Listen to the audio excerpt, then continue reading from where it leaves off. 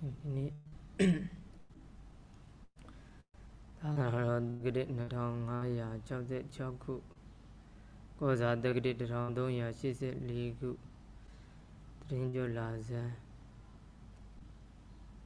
ဒီယနေ့ခရစ်နှစ်2020နှစ်စက်တင်ဘာ29ရက်နေ့ဟောကြားတော်မူအပ်သောဘုရားတော်ရဲ့အမည်ကတော့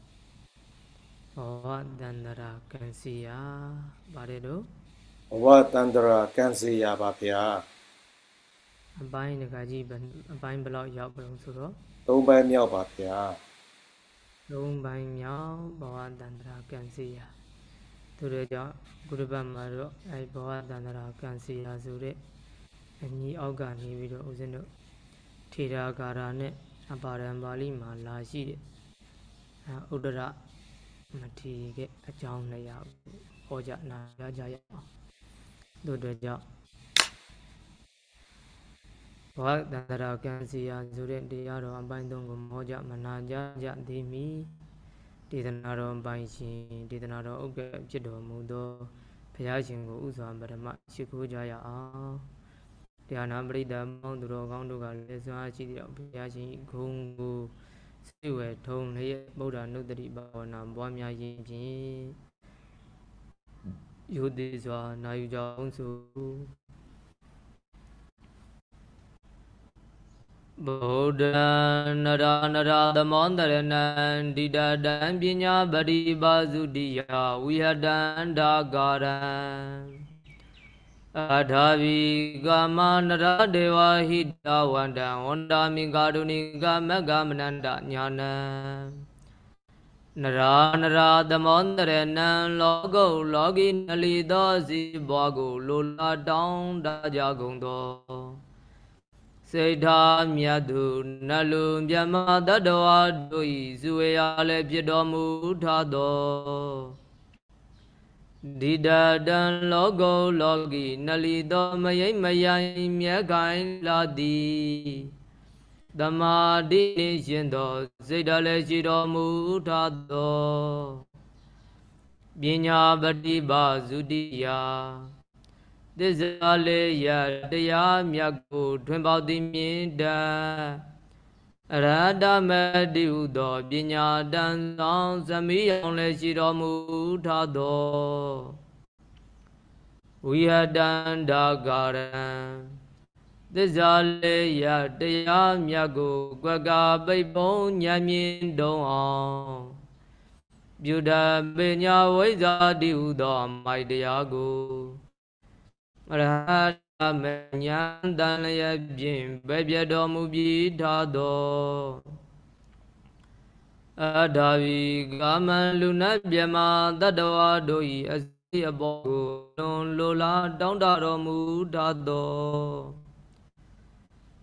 နရဒေဝဟိတာဝဟံလူနာမြမတတ္တဝါတို့အားလမ်းပြနိညွန်ဆုံးမသွန်သင်တော်မူလျက်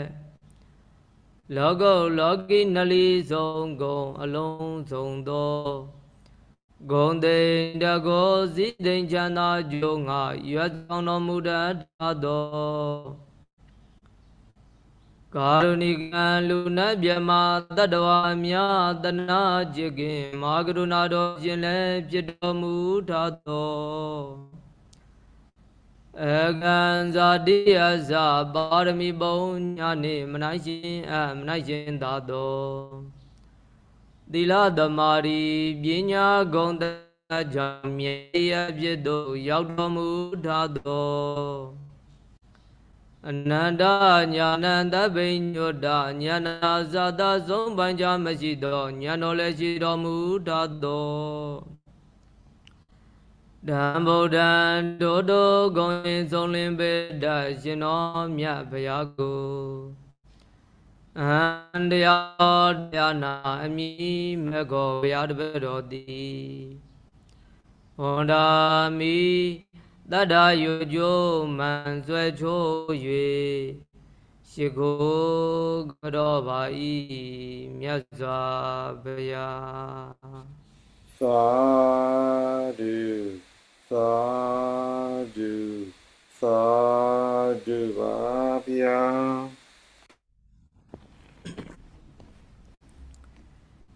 ဒီတော့ယနေ့ဦးဇင်းတို့ဝါဒန္တရာကံစီယာဆိုတဲ့တရားတော်ကိုဆက်လက်ပြီးတော့ဟောကြားနာကြားကြရအောင်အဲ့တော့တတ္တဝါဒီတန္တရာမှာကျင်လည်ကြရတန္တရာက မလွတ်မြောက်နိုင်တာဒီဘယ်တရားကကြီးမြောင်ချီနှောင်ထားလို့လေလို့မေးတဲ့အခါကမ္မနိဗ္ဗာန်တနာတတ္တာဆိုတဲ့အတိုင်းကံတရားကချီမြောင်ချီနှောင်ထားလို့တဲ့ဘာကချီနှောင်ထားလို့ကံတရားကချီနှောင်ထားလို့ပါဗျာဟောအဲ့တော့ကံတွေရှိနေလို့ကောင်းကံစုကံတိဟုသောကံတရားကတတ္တဝါတွေကိုချီနှောင်ထားတဲ့အတွက်ကြောင့် တတ္တဝါတွေဒီတန္တရာမှာကျင်လည်နေရတာတဲ့ဘာမှကျင်လည်နေရတာကံတရာမှာကျင်လည်နေရတာပါဗျာအဲ့တော့ကံတရားကချီနှောင်ထားလို့တတ္တဝါတွေကျင်လည်နေရတယ်တန္တရာမှာဒီတော့ဒီကံတရားကိုဖြစ်ပေါ်စေတတ်တဲ့အကြောင်းဆိုတဲ့အခါကံတရားကိုဖြစ်ပေါ်စေတတ်တာကအဝိဇ္ဇာနုတယပရိက္ခိတေနတဏနုတယမူလကေန သနိယာမာနံဟောအဝိဇ္ဇာနုတယကခြံရံပြီးတော့တဏနုတယအရင်ခံထားတဲ့ဒါကုသိုလ်အကုသိုလ်ဒီဟုသောဖြစ်စေအပ်တဲ့ကံတွေဒီကံတွေကချီနှောင်တာဒီတော့တတ္တဝါတွေကိုတဏှာကမလွတ်မြောက်အောင်ချီနှောင်ချီနှောင်ထားတာကကံတရားထိုကံတွေကိုအဓိကဖြစ်ပေါ်စေတတ်တဲ့အကြောင်းတရားကြီးတော့အဝိဇ္ဇာနုတယခြံရံပြီးတော့တဏှာနုတယအရင်ခံတဲ့ ကာယကံမှုဝစီကံမှုမနောကံမှုတိဟုသောဒီကံတွေကချီနှောင်တာဆိုတော့အကြောင်းရင်းကိုစစ်တော့အဝိဇ္ဇာနဲ့တဏှာတဲ့ဘာနဲ့ပါအကြောင်းရင်းကအဝိဇ္ဇာနဲ့တဏှာပါဗျာအဲ့တော့ဝိဇ္ဇာနဲ့တဏှာအဲ့တော့ဝိဇ္ဇာတရားကိုဖယ်ရှားပြီးတော့တမ္မာဒိဋ္ဌိဉာဏ်ပညာရှိခဲ့မယ်တမ္မာဒိဋ္ဌိဉာဏ်ပညာနဲ့အစအထိုးနိုင်ခဲ့မယ်ဆိုရင်ဘဝအထိုးထိုးပမာတွေ့တာနေတဲ့ အရင်ဉာဏ်ဖြစ်တဲ့တရားကိုလည်းဖယ်ရှားနိုင်ခဲ့မယ်ဆိုရင်တော့ပြုသမျှပြောသမျှကြံတွေးသမျှဒီ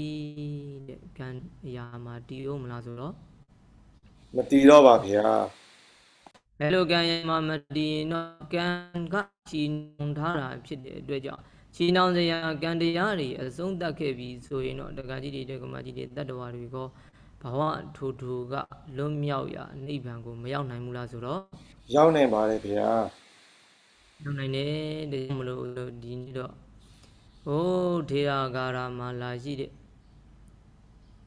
ဥဒ္ဒရမထေမြတ်ကတရင်သုံးပေါ်တွေကိုပြန်လည်ပြီးတော့အရတ္တမေအရတ္တဖို့ကိုမိမိရောက်ရှိပြီးနောက် တရင်သုံးပေါ်တွေမရရှိမရောက်ရှိသေးတဲ့တရင်သုံးပေါ်တွေကိုအာအတုကဉာဏ်ကျိုးကိုအားထုတ်ပြီးအဲ့လိုမျိုးအရတ္တမေအရတ္တဖို့နဲ့နိဗ္ဗာန်ကိုမျက်မှောက်ပြုနိုင်ရေးအတွက်သူ့ရဲ့အတွေ့အကြုံလေးကိုပြောတဲ့ဂါထာလေးတွေနဲ့စပြီးတော့အန်တရားနေတံပြောကြရအောင်အဲ့တော့ဒေတာဂါရမှာဗာပြောထားတုံဆိုတော့ဥဒရမတိမြတ်က နတ္တိကောစီဘောနေဇောသင်္ကာဝပိတတ္တတာဩပိဇန္တိသဒေခန္နာသောတိအပရာပရံဧဒမာရိဏညတ္တဝါဘဝေယံဤအာနတိကောသာတတောသဗ္ဗကာမေဟိပတ္တောမေအတဝခယောအာဟုသောငါရှင်တရင်သုံးဘောတို့ ကောစီတသုံးတကုသောဘောဘဝတိကောစီတသုံးတကုသောဘောဘုံသုံးဝ၌ကျုံသောဘဝတိနေဇောမြဲခြင်းမြေဒီနတ္တိမရှိပါသင်္ကာရဝါဘိယုံနံဓမ္မသင်္ကာရတရားတို့သည်လည်းပဲသာတတာမြဲခြင်းဟူသည်နတ်မရှိပါဒေဂနာတို့ဘဝသုံးပါး၌ကျုံဝင်ကြကုန်သော ယုံနံဓမ္မသင်္ကာရတိဟုသောခန္ဓာ၅ပါးသည်အဘရပရံဖံဖံဓာတ္တဥပိဇံတိသကံလျောစွာပရိသန်နေနေရာချင်းအဖြစ်ပြည့်လဲပြည့်ကြလေကုန်၏သံတိသာအိုခြင်းနာခြင်းတရားတို့ကဗမ္မန္တတနေစရာသည်ဖြစ်၍ပြည့်လဲပြည့်ကြလေကုန်၏ ဧတံဣတိတံဤသို့သဘောရှိသော အာရိဏံဘဝသုံးပါး၌ကျုံဝင်ကြကုန်သောယုံနံဓမ္မတိဟုသောသင်္ကာရတရားတို့၏အပြစ်ကိုညတ်တော်သိမြင်၍ဝါရိနံဘဝထိုတို့၏အပြစ်ကိုညတ်တော်သိမြင်၍ဘဝေနာဘဝမှာအနတ္တိကောဒွေတာမမောခြင်းအလင်းမရှိသည့်အမိပြစ်ကလေးပြီ တဘကာမေယလုံးစုံသောကာမတို့မှလည်း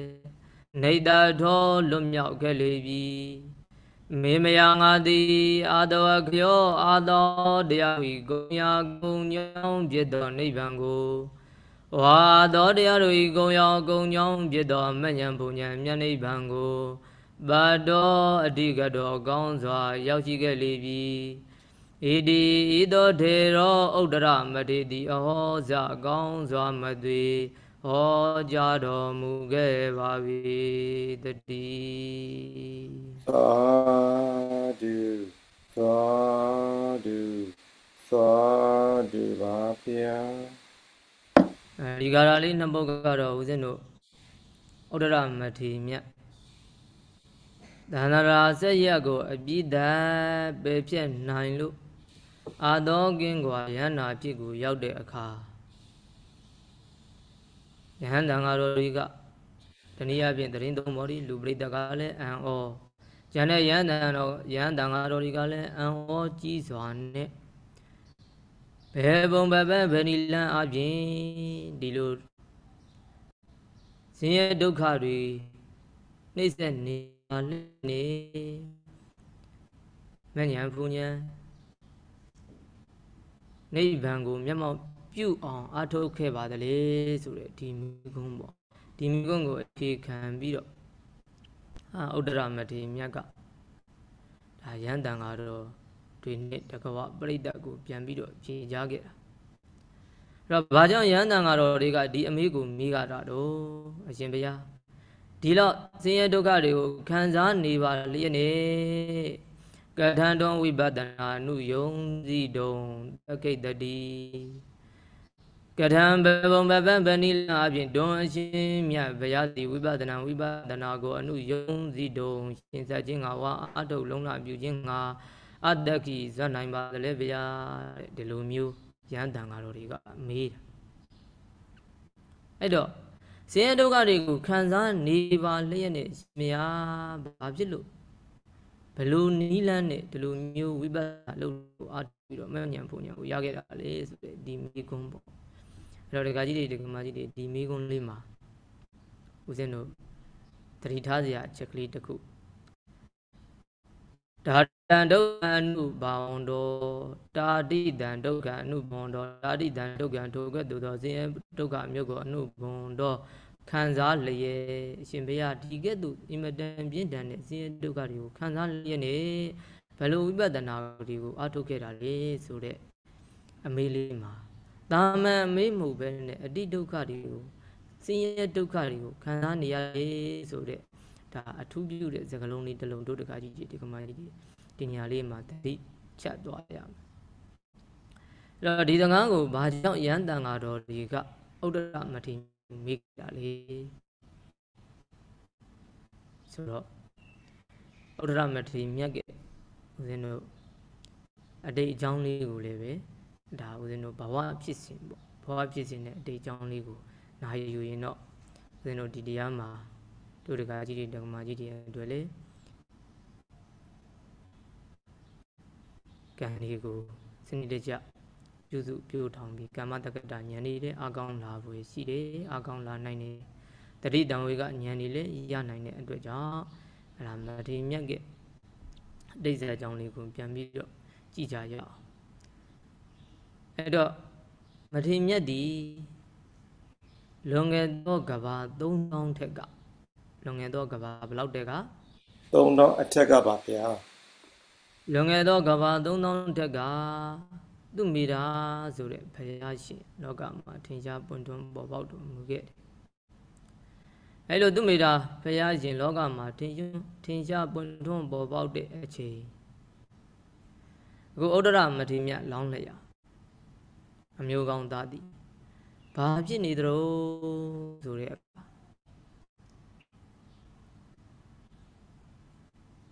ဝိဇ္ဇတုဖြစ်နေတယ်တဲ့ဘာဖြစ်နေတော့ ဝိဇ္ဇတူဖြစ်နေပါတယ်ဗျာဝိဇ္ဇရုဆိုတော့ဦးဇင်းတို့ဇာတဲ့အရာပြောရင်တော့ဝိဇ္ဇရုထဲမှာသူကဂါရမဏန်တွေကိုရွတ်ဖတ်ပြီးတော့ဒီလိုမျိုးနဲ့ဒါဝိဇ္ဇာအတ္တတွေကိုတက်မြောင်နေတဲ့ပုဂ္ဂိုလ်တဦးတို့တော့ကြောင့်ကောင်းကင်ခီကိုလည်းကောင်းကောင်းကြီးသူကသွားလာနိုင်တဲ့ဘဝမျိုးကိုရောက်အဲလိုရောက်နေတဲ့အချိန်မှာဘုရားရှင်ကလည်းလောကကိုလမ်းကြည့်တဲ့အခါဒီနေ့တော့အဲ့ဒီ ဥဒ္ဒရမထေမြတ်လောင်းလျာဒီဝိဇ္ဇရုကိုတော့ချီးမြှောက်ဖို့ရန်အဲအချိန်အခါပဲလို့ဒီလိုသူ့မိတာဘုရားရှင်ကသိမြင်တော်မူတဲ့အတွက်ကြောင့်အဲ့ဒီဝိဇ္ဇရုကျင်လဲကျက်စားရာဖြစ်တဲ့အဲ့ဒီဟိမောင်တာတောင်နှန်းကိုဘုရားရှင်ကကြွားရောက်ဟိမောင်တာတောင်နှန်းကိုကြွားရောက်ပြီးတဲ့အခါအဲ့ဒီမှာအေးအဝသာကောင်းတဲ့တစ်ပင်တစ်ပင်အောက်မှာဘုရားရှင်ဘုရားရှင်တို့ဆိုတော့ သူမိတာဘုရားပါဗျာသူမိတာဘုရားရှင်ကဘုရားဝါသာကောင်းတဲ့တစ်ပင်တစ်ပင်အောက်မှာထိုင်ပြီးတော့တရင်သုံးကရောင်ကြီးရော၆သွေဂုံယူပြီးတော့အဲတရင်သုံးနေထိုင်တော်မူတယ်အဲလိုတရင်သုံးနေထိုင်တော်မူတဲ့အခါဘုရားဝိဇ္ဇတော်ဥဒ္ဒရာမထေရမြတ်ဥမထေရမြတ်လောင်းလိုက်ရာဒီဇတော်ကလည်းကောင်းငင်ခီးနဲ့ဤမောင်တာတောတော်မှာကျင်လည်ကျက်စားနေရင်းနဲ့ ဟိုအင်မတန်ရေးအာဝတာကောင်းတဲ့တစ်ပင်ကြီးတစ်ပင်အောက်ကရောင်ကြီးတော်တွေကိုမြူးနေရတာကိုလမ်းပြီးတော့ခက်လန်းလန်းကမြင်နေခက်လန်းလန်းကမြင်တဲ့အခါကျတော့ဘာလဲဆိုပြီးကောင်းကင်ကနေအဲ့ဒီအနိအနာခက်လန်းလန်းတခါတည်းမြေပြင်ကိုဆင်းသက်ပြီးတော့ကြီးကျူလိုက်တဲ့အခါရောင်ကြီးတော်၆မယ်ကိုမြူးပြီးတော့ဒိန်းသုံးနေထိုင်တော်မူတဲ့ဘုရားရှင်ကိုမြင်လိုက်တဲ့အခါတရားတရားဖြစ်တယ်တဲ့တို့တခါကြီးတခါမကြီးတွေဘာဖြစ်တော့ ဒါတရားဖြစ်ပါတယ်ဗျာသရတရားဖြစ်တယ်အဲလိုသရတရားဖြစ်တဲ့အတွက်ကြောင့်ဘာဖြစ်လို့ဆိုတော့ဒီဥဒ္ဒရမထေမြတ်လောင်းလျာဒီဝိဇ္ဇာတို့အမျိုးကောင်းသားသည်ဘုရားရှင်ဓမ္မောက်ကိုချင်းကပ်ချင်းကပ်ပြီးတဲ့အခါဘုရားရှင်ကိုဖူးမြော်ရတာစိတ်ထဲမှာအင်မတန်ကိုကြည်လင်တယ်တနည်းအားဖြင့်သရတရားတွေတပွားပွားဖြစ်နေ အဲ့တော့ဒကာကြီးတွေဒကာမကြီးတွေဒါကြောင့်မို့လို့လောကမှာကြည်ညိုတဲ့ကြည်ညိုထိုက်တဲ့ကြည်ညိုခံထိုက်တဲ့တတ္တရာဝတ္ထုလို့ခေါ်တယ်ဒီလိုမျိုးဘုရားတရားတန်ခါအစရှိတဲ့ဒီအပေါ်မှာယုံကြည်တတ်တဲ့တရားတရားတော့အတို့တကကြီးတွေဒကမကြီးတွေတဏ္ဍာမှာထင်ရှိနေဖို့လိုအပ်ဘူးဆိုတော့လိုအပ်ပါတယ်ဗျာတို့တယ် သို့တော့အဲ့ဒီယုံကြည်တဲ့ယုံကြည်ထိုက်တဲ့တတ္တရာဝတ္ထုလို့ခေါ်တဲ့ဒီအပေါ်မှာလည်းမိမိတို့ကတရားတရားတစ်ခုတည်းတော့မဟုတ်ပဲတရားနဲ့ပညာညီမျှအောင်တွဲဆက်နိုင်ပါမှမိမိတို့ရဲ့ယုံကြည်မှုလေမိမိတို့အတွက်အကျိုးများမယ်အဲ့တော့ပြောချင်တာကမျက်စိစုံမှိပြီးယုံကြည်တာမျိုးကိုတော့ဒါဦးဇင်းတို့အာမပေးပါဘူး အဲ့တော့ခေါင်းစိုးနတန်ကိုခွဲခြားတက်သည့်နားလည်နိုင်တဲ့ဝေဖန်ပိုင်းခြားနိုင်တဲ့ဉာဏ်ပညာဦးစီးတဲ့ယုံကြည်ခြင်းမျိုးယုံကြည်ချက်မျိုးတော့ဖြစ်ဖို့လိုတယ်အဲ့တော့ခုဓမ္မဒီဥဒ္ဒရအမျိုးကောင်းလောင်းလျာဒီဝိဇ္ဇတို့ကအဲ့ဘုရားရှင်ကိုခက်လန်းလန်းကဖူးမြူရတဲ့အခါမှာသူ့မှာဉာဏ်ပညာပေါ့သူကိုယ်တိုင်ကတကုတ်မြင်ကြီးနဲ့ဝိဇ္ဇတို့ဘဝနဲ့ကောင်းကင်ခိကိုသွားလာနိုင်တဲ့ပုဂ္ဂိုလ်တယောက်ကဘုရားရှင်ကိုမြင်တဲ့အခါသူကောင်းဆုံးတဲ့တန်ကိုကောင်းကောင်းကြီးခွဲခြားတတ်တယ်ဒီပုဂ္ဂိုလ်ကတော့ ငါထက်ဂုံရည်ဒီမနိုင်အောင်တာလွန်တဲ့ပုဂ္ဂိုလ်တူတယောက်ပဲတို့တဲ့ကြောင့်ငါအယူသည်ပေးခြင်းလိုက်တာအယူသည်ပေးရမယ်ဆိုတဲ့အဲ့ဒီဘုရားရှင်ပေါ်မှာယုံကြည်တဲ့တရားတရားကိုရှေ့ထားပြီးတော့တရားတဲ့ယုံကြည်တဲ့တရားတရားကိုအခြေငါဘုရားရှင်ကိုသူကချင်းကပ်တယ်ပေါ့အဲ့လိုချင်းကပ်ပြီးတဲ့ဘုရားရှင်ကိုဘာလူနိုင်တယ်လဲဆိုတော့ ဒေါ်တဲ့တောင်တဲ့ဒကာကြီးတွေဒကာမကြီးတွေအခုမျိုးရဲမျိုးကြီးပြကြီးမှာမဟုတ်တဲ့အခါလူဒန်းပေါ်ရာဆိုတာကိုသိပ်ပြီးတော့မုံမုံမြတ်မြတ်ရှာလို့တွေ့နိုင်ပါမလားမတွေ့နိုင်ပါဗျာမတွေ့နိုင်ဘူးဒီထဲမှာမှဦးဇင်းတို့အခုဇာပေတွေကိုထောက်စားကြည့်ရင်ဘုရားရှင်ကိုသူဖူးမြော်ရတဲ့အချိန်ဒီကာလအခါမျိုးလည်းမဖြစ်နိုင်ဘူးကာလအခါဆိုတာဦးဇင်းတို့နန်းနခင်းအာယုံကြီးတဲ့အချိန်ကနေစပြီး မွန်မတ်တဲ့ခင်အတွင်းဆိုတော့ဒါကာလအချိန်လို့ခေါ်တယ်အဲမွန်းတက်ပြီးတဲ့အချိန်ကနေစပြီးတော့နောက်တစ်နေ့အာယုံတက်မချင်းကတော့ဒါဝိကာလအခါလို့ခေါ်တယ်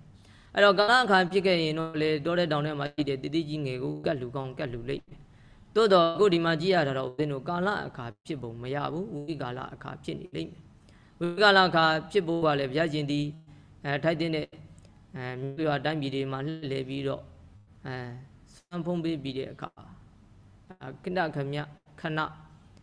စွမ်းဖုံးပေးပြီးလို့နားယူမဲ့အချိန်ကိုဟိမဝန္တာတောတန်းကိုဘုရားရှင်ကလည်းကြွလာတဲ့သဘောရှိပါတယ်သို့တော်မျိုးဟလာဖြစ်နေလေတော့နောက်ဥဒ္ဒရလောင်းလျာမျိုးကောင်းသားကဘုရားရှင်ကိုဘုရားရှင်ပေါ်မှာကြီးညိုတဲ့တရားတရားကသိပြီးအားကောင်းနေတို့အတွက်ကြောင့်ဘာလေးမြန်လူတန်းရင်တော်မလဲဆိုပြီးတော့ကြံစီစဉ်းစားစဉ်းစားတဲ့အခါ ဝိကာလအချင်းတို့ယူဆတဲ့အတွက်ကြောင့်လူတရားစုတို့ဒေါ်တဲ့တောင်ထဲမှာဘာပဲလဲဆိုတော့အမေရှိမှာပေါ့ဘာပဲရှိမကြားလိုက်ပါဘူးအဲ့တော့တောထဲမှာပန်းမယ်ရှိမှာပေါ့နော်ဟုတ်ပန်းပန်းအဲ့ကကျတော့ဘာလို့တုံဆိုတဲ့အခါကျတော့တကားတဲ့အဲ့ဝိဇ္ဇတူဥဒ္ဒရလောင်းလျာဝိဇ္ဇတူမျိုးကောင်းသားကအဲ့လာတောထဲတောင်ထဲမှာပန်းတွေလိုက်ရှာလိုက်တာပန်းကလေသုံးပွင့်ရတယ်တဲ့ပန်းဘယ်နှပွင့်ရသုံးခွင့်ရပါတယ်ဗျာပန်းသုံးပွင့်ရတယ် အဲ့ဒီပန်းသုံးပွင့်ရလိုက်တဲ့အခါကျတော့မာလီကားပန်းလို့ခေါ်ပါတယ်ပန်းသုံးပွင့်အဲ့မာလီကားပန်းသုံးပွင့်ရတဲ့အခါဘုရားရှင်ကိုတကားတဲ့ယူသေးသေးနဲ့ပဲတကားတဲ့အချင်းကပ်ပြီးတော့လှူဒန်းလိုက်တယ်ဒါပေမဲ့ဘုရားရှင်ရဲ့တကောရှင်သောအာနုဘောကြောင့်အဲ့ပန်းသုံးပွင့်ဒီတကားတဲ့ဘုရားရှင်ဤဥကောင်းအထက်မှာအညာဆိုတော့ပန်းမွင့်တစ်ပွင့်ကိုတကားကြီးဒီကမကြီးမျိုးလုံးနဲ့ပုံဖော်ကြည့်အညာလေးကအပေါ်ဘက်ကဆိုတော့ပန်းမွင့်လေးတွေက အာအောက်ကိုစားပြီးတော့ပန်းသုံးမွင်းကဘုရားရှင်အပေါ်မှာအရေးပမာမိုးပေးထားတယ်ထီးပမာပေါ့ပန်းသုံးမွင်းကမိုးပေးထားတယ်ပွင့်ရက်တွေကအောက်ဘက်မှာရှိမယ်အညာလေးကအပေါ်မှာရှိမယ်အဲ့တော့ထီးလေးကိုတခါတည်းပွင့်ကြည့်ပေါ့အပေါ်မှာအညာလေးနဲ့အောက်ကဒါအပွင့်လေးသဘောမျိုးပေါ့အဲ့လိုထီးလေးနဲ့မိုးထားတယ်လို့ဒါဘုရားရှင်ရဲ့အပေါ်မှာဒီပန်းသုံးမွင်းကသွားပြီးတော့တီးနေတယ်အဲ့ဒါကိုမြင်လိုက်လိုက်မြင်ရလိုက်တဲ့ဥဒ္ဒရ မထေမြတ်ကလောင်းလျာအမျိုးကောင်းသားစိတ်ထဲမှာသိပြီးတော့ကြည်နပ်သွားတယ်သိပြီးတော့ဝမ်းမြောက်သွားတယ်အဲတော့ဝမ်းမြောက်တဲ့စိတ်ဓာတ်တွေပီတိသောမနတ်ရှင်တွေ့ဖြစ်တဲ့ကုသိုလ်စိတ်တွေတည်ချိန်ကြာကြီးဖြစ်နေဒီလိုနဲ့ပဲဘုရားရှင်နဲ့သူနဲ့တင်တော်တဲ့တရားဓမ္မတွေကိုချီးမြှောက်ပြီးတော့ဘုရားရှင်လည်းပဲပြန်ကြွသူ့မှလည်းပဲအဲ့ဒါဒီသူ့ဘဝအတွက်ဘယ်လို့မှမေ့လို့မရောက်တဲ့အထင်ကရပေါ့ အထိကရလို့ခေါ်တယ်ကုသိုလ်ကောင်းမှုကြီးတစ်ခုဖြစ်ခဲ့တယ်။တတော်တင်ကြဘုရားရှင်ကိုဘာလူခဲ့တဲ့ကုသိုလ်လုံးဆိုတော့ပန်းလူတဲ့ကုသိုလ်ပါဗျာပန်းလူတယ်ပန်းဘယ်နှပွင့်လူတော့ပန်းသုံးပွင့်လူတာပါဗျာပန်းသုံးပွင့်လူလိုက်တဲ့ကုသိုလ်ပဲ။အဲ့လိုပန်းသုံးပွင့်လူလိုက်တဲ့ကုသိုလ်ဒီသူ့ဘဝအတွက်အင်မတန်မှကြီးကျယ်မြင့်ကြီးကျယ်တဲ့ခမ်းနားတဲ့ကုသိုလ်ကြီးတစ်ခုဖြစ်ခဲ့တယ်။အဲ့လိုကုသိုလ်ကြီးကိုသူကစိတ္တကြပြုခဲ့ပြီးတော့အဲ့ဒီဘဝကနေပြီးတော့ ဒါသုတိပြတ်ကြီးသေလွန်ပြီးကံအားလိတ်ဆိုတာအဲ့ဒါနေသုတိပြတ်ကြီးသေလွန်တဲ့အခါဘယ်ရောက်သွားတော့ဒါဝရဏတ်ပြည်ရောက်သွားတယ်ဒါဝရိသာနတ်ပြည်မှာလည်းတကားလေးအဲ့ဒီပန်းသုံးပွင့်ကိုလူတန်းရတဲ့ကုသိုလ်ကောင်းမှုကြောင့်တကားလေးကြီးကျယ်တဲ့ဘုံမိမန်နေအချမ်းအရန်လေးနဲ့သွားလျာမှာအဲ့ဒီလိုမျိုးမာလီကြီးတွေအထီးပါမှာတကားလေးနောက်ကလိုက်မှုပြီးဒီလိုမျိုးနဲ့ဒါဝရိသာနတ်ပြည်မှာနေရတယ်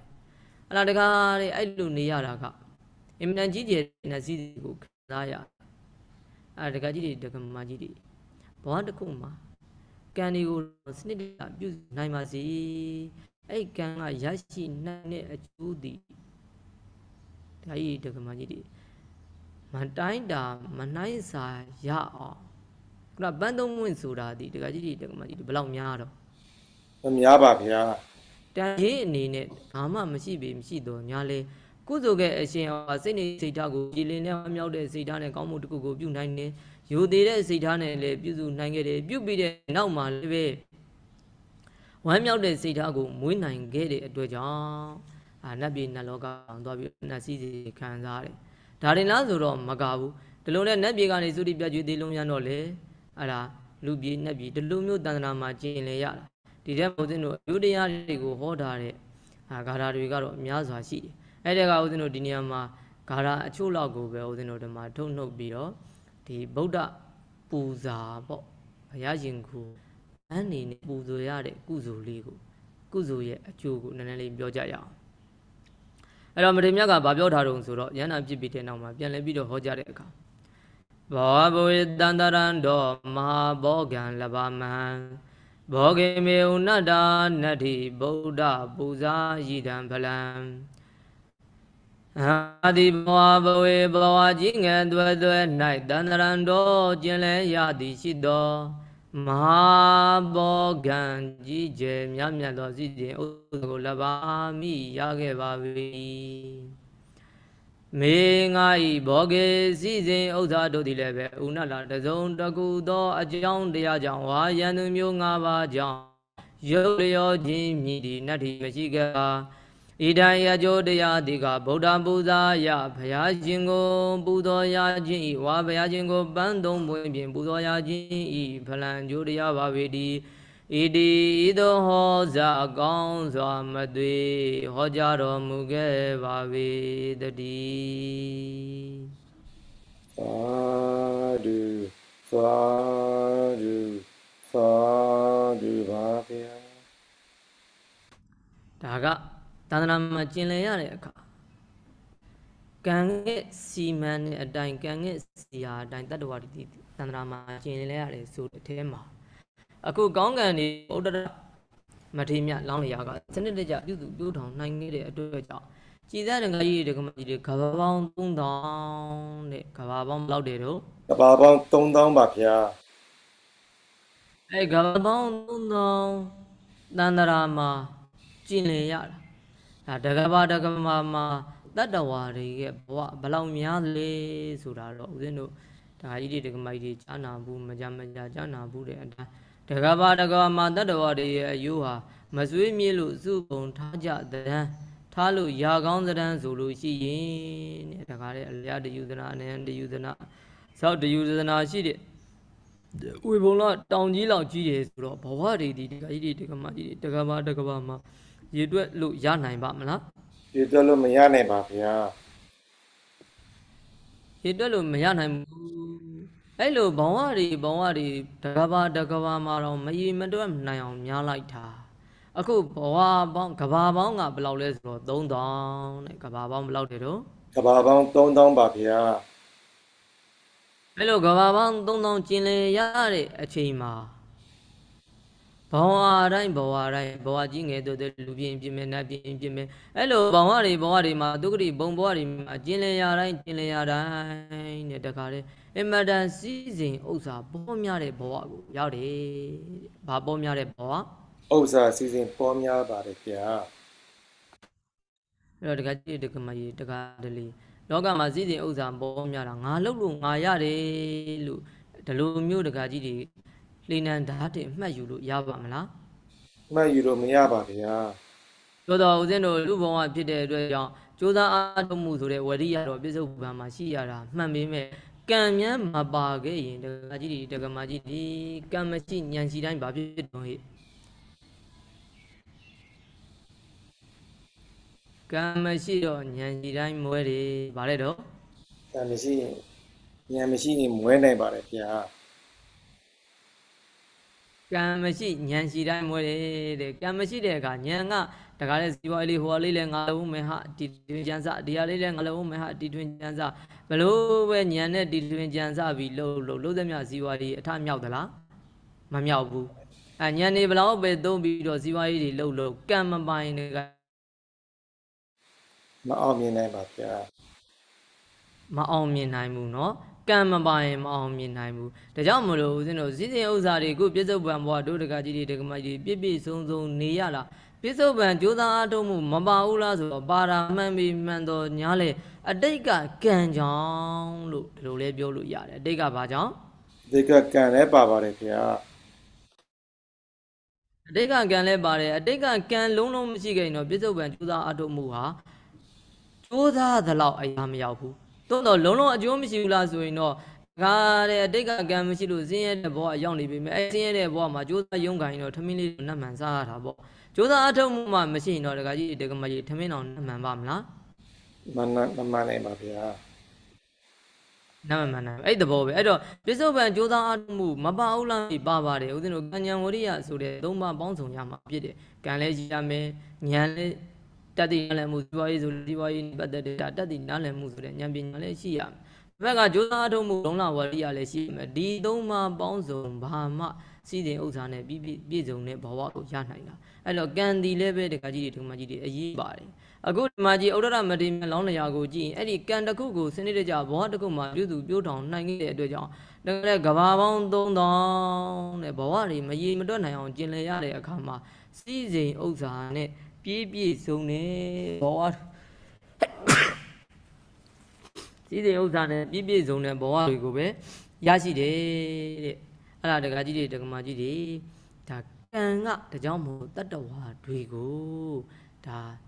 စေနေတာပဲကံစီရဲ့အတိုင်းကံကစီမံတဲ့အတိုင်းကံရဲ့အမွေခံအနေနဲ့ပဲတတ္တဝါတွေဒီဘာလုပ်နေရတာတော့တန်တရာမှာကျင်လည်နေရတာဘယ်မှာကျင်လည်နေရတန်တရာမှာကျင်လည်နေရပါတယ်ဗျာ အဲ့တော့ဒီမှာတကြောင်မလို့ကံကစီမံလိုက်တဲ့အတွက်ကြောင့်အဲ့ဒီဥဒ္ဒရမတိမြတ်လောင်းနေရသည်ဘွားကြီးငယ်အတွက်အတွက်ကျင်လည်ရတဲ့အခါစီစဉ်ဥစ္စာတွေနဲ့လည်းပေါ်များတယ်တဲ့နောက်တကအဲ့ဒီစီစဉ်ဥစ္စာတွေဒီလည်းပဲတဲ့တစုံတစ်ခုသောအကြောင်းကြောင့်ယန္တုမျိုး၅ပါးကြောင့် ရော့ပါသွားခြင်းရုပ်လျော့သွားခြင်းဆိုတာအလင်းမရှိဘူးတဲ့အစီအစဉ်ဥစ္စာတွေရရှိပြီးပြန်ရင်လေအဲစီစဉ်ဥစ္စာတွေဒီတခါကြီးတခါမကြီးတွေအတိတ်ကကံကြောင့်ဖြစ်ပေါ်လာတဲ့စီစဉ်ဥစ္စာတွေကံအားလျော်စွာဖြစ်ပေါ်လာတဲ့စီစဉ်ဥစ္စာတွေဖြစ်လေတော့ယန္တုမျိုး၅ပါးပြည့်စည်လို့ရသလားမရနိုင်ပါဗျာမရနိုင်ဘူးတဲ့ဒါဘာကိုပူဇော်ရခြင်းလဲအကျိုးလဲဆိုတော့ဖယားကိုပူဇော်ရခြင်းရဲ့အကျိုးတဲ့ဘာကိုပူဇော်ရခြင်းရဲ့အကျိုး ဘုရားကိုပူဇော်ရခြင်းရဲ့အကျိုးပါဗျာဟောနောက်တစ်ခုဘာပြောထားတုံးဆိုတော့ဝေဘဝေသန္တရာမိဒေဝဒေအထမာနုတေအញ្ញံကတိနဇာနာမိဗုဒ္ဓပူဇာယိတံဖလံအဟံငါတိဒါရေနတန္တရေတရာနာ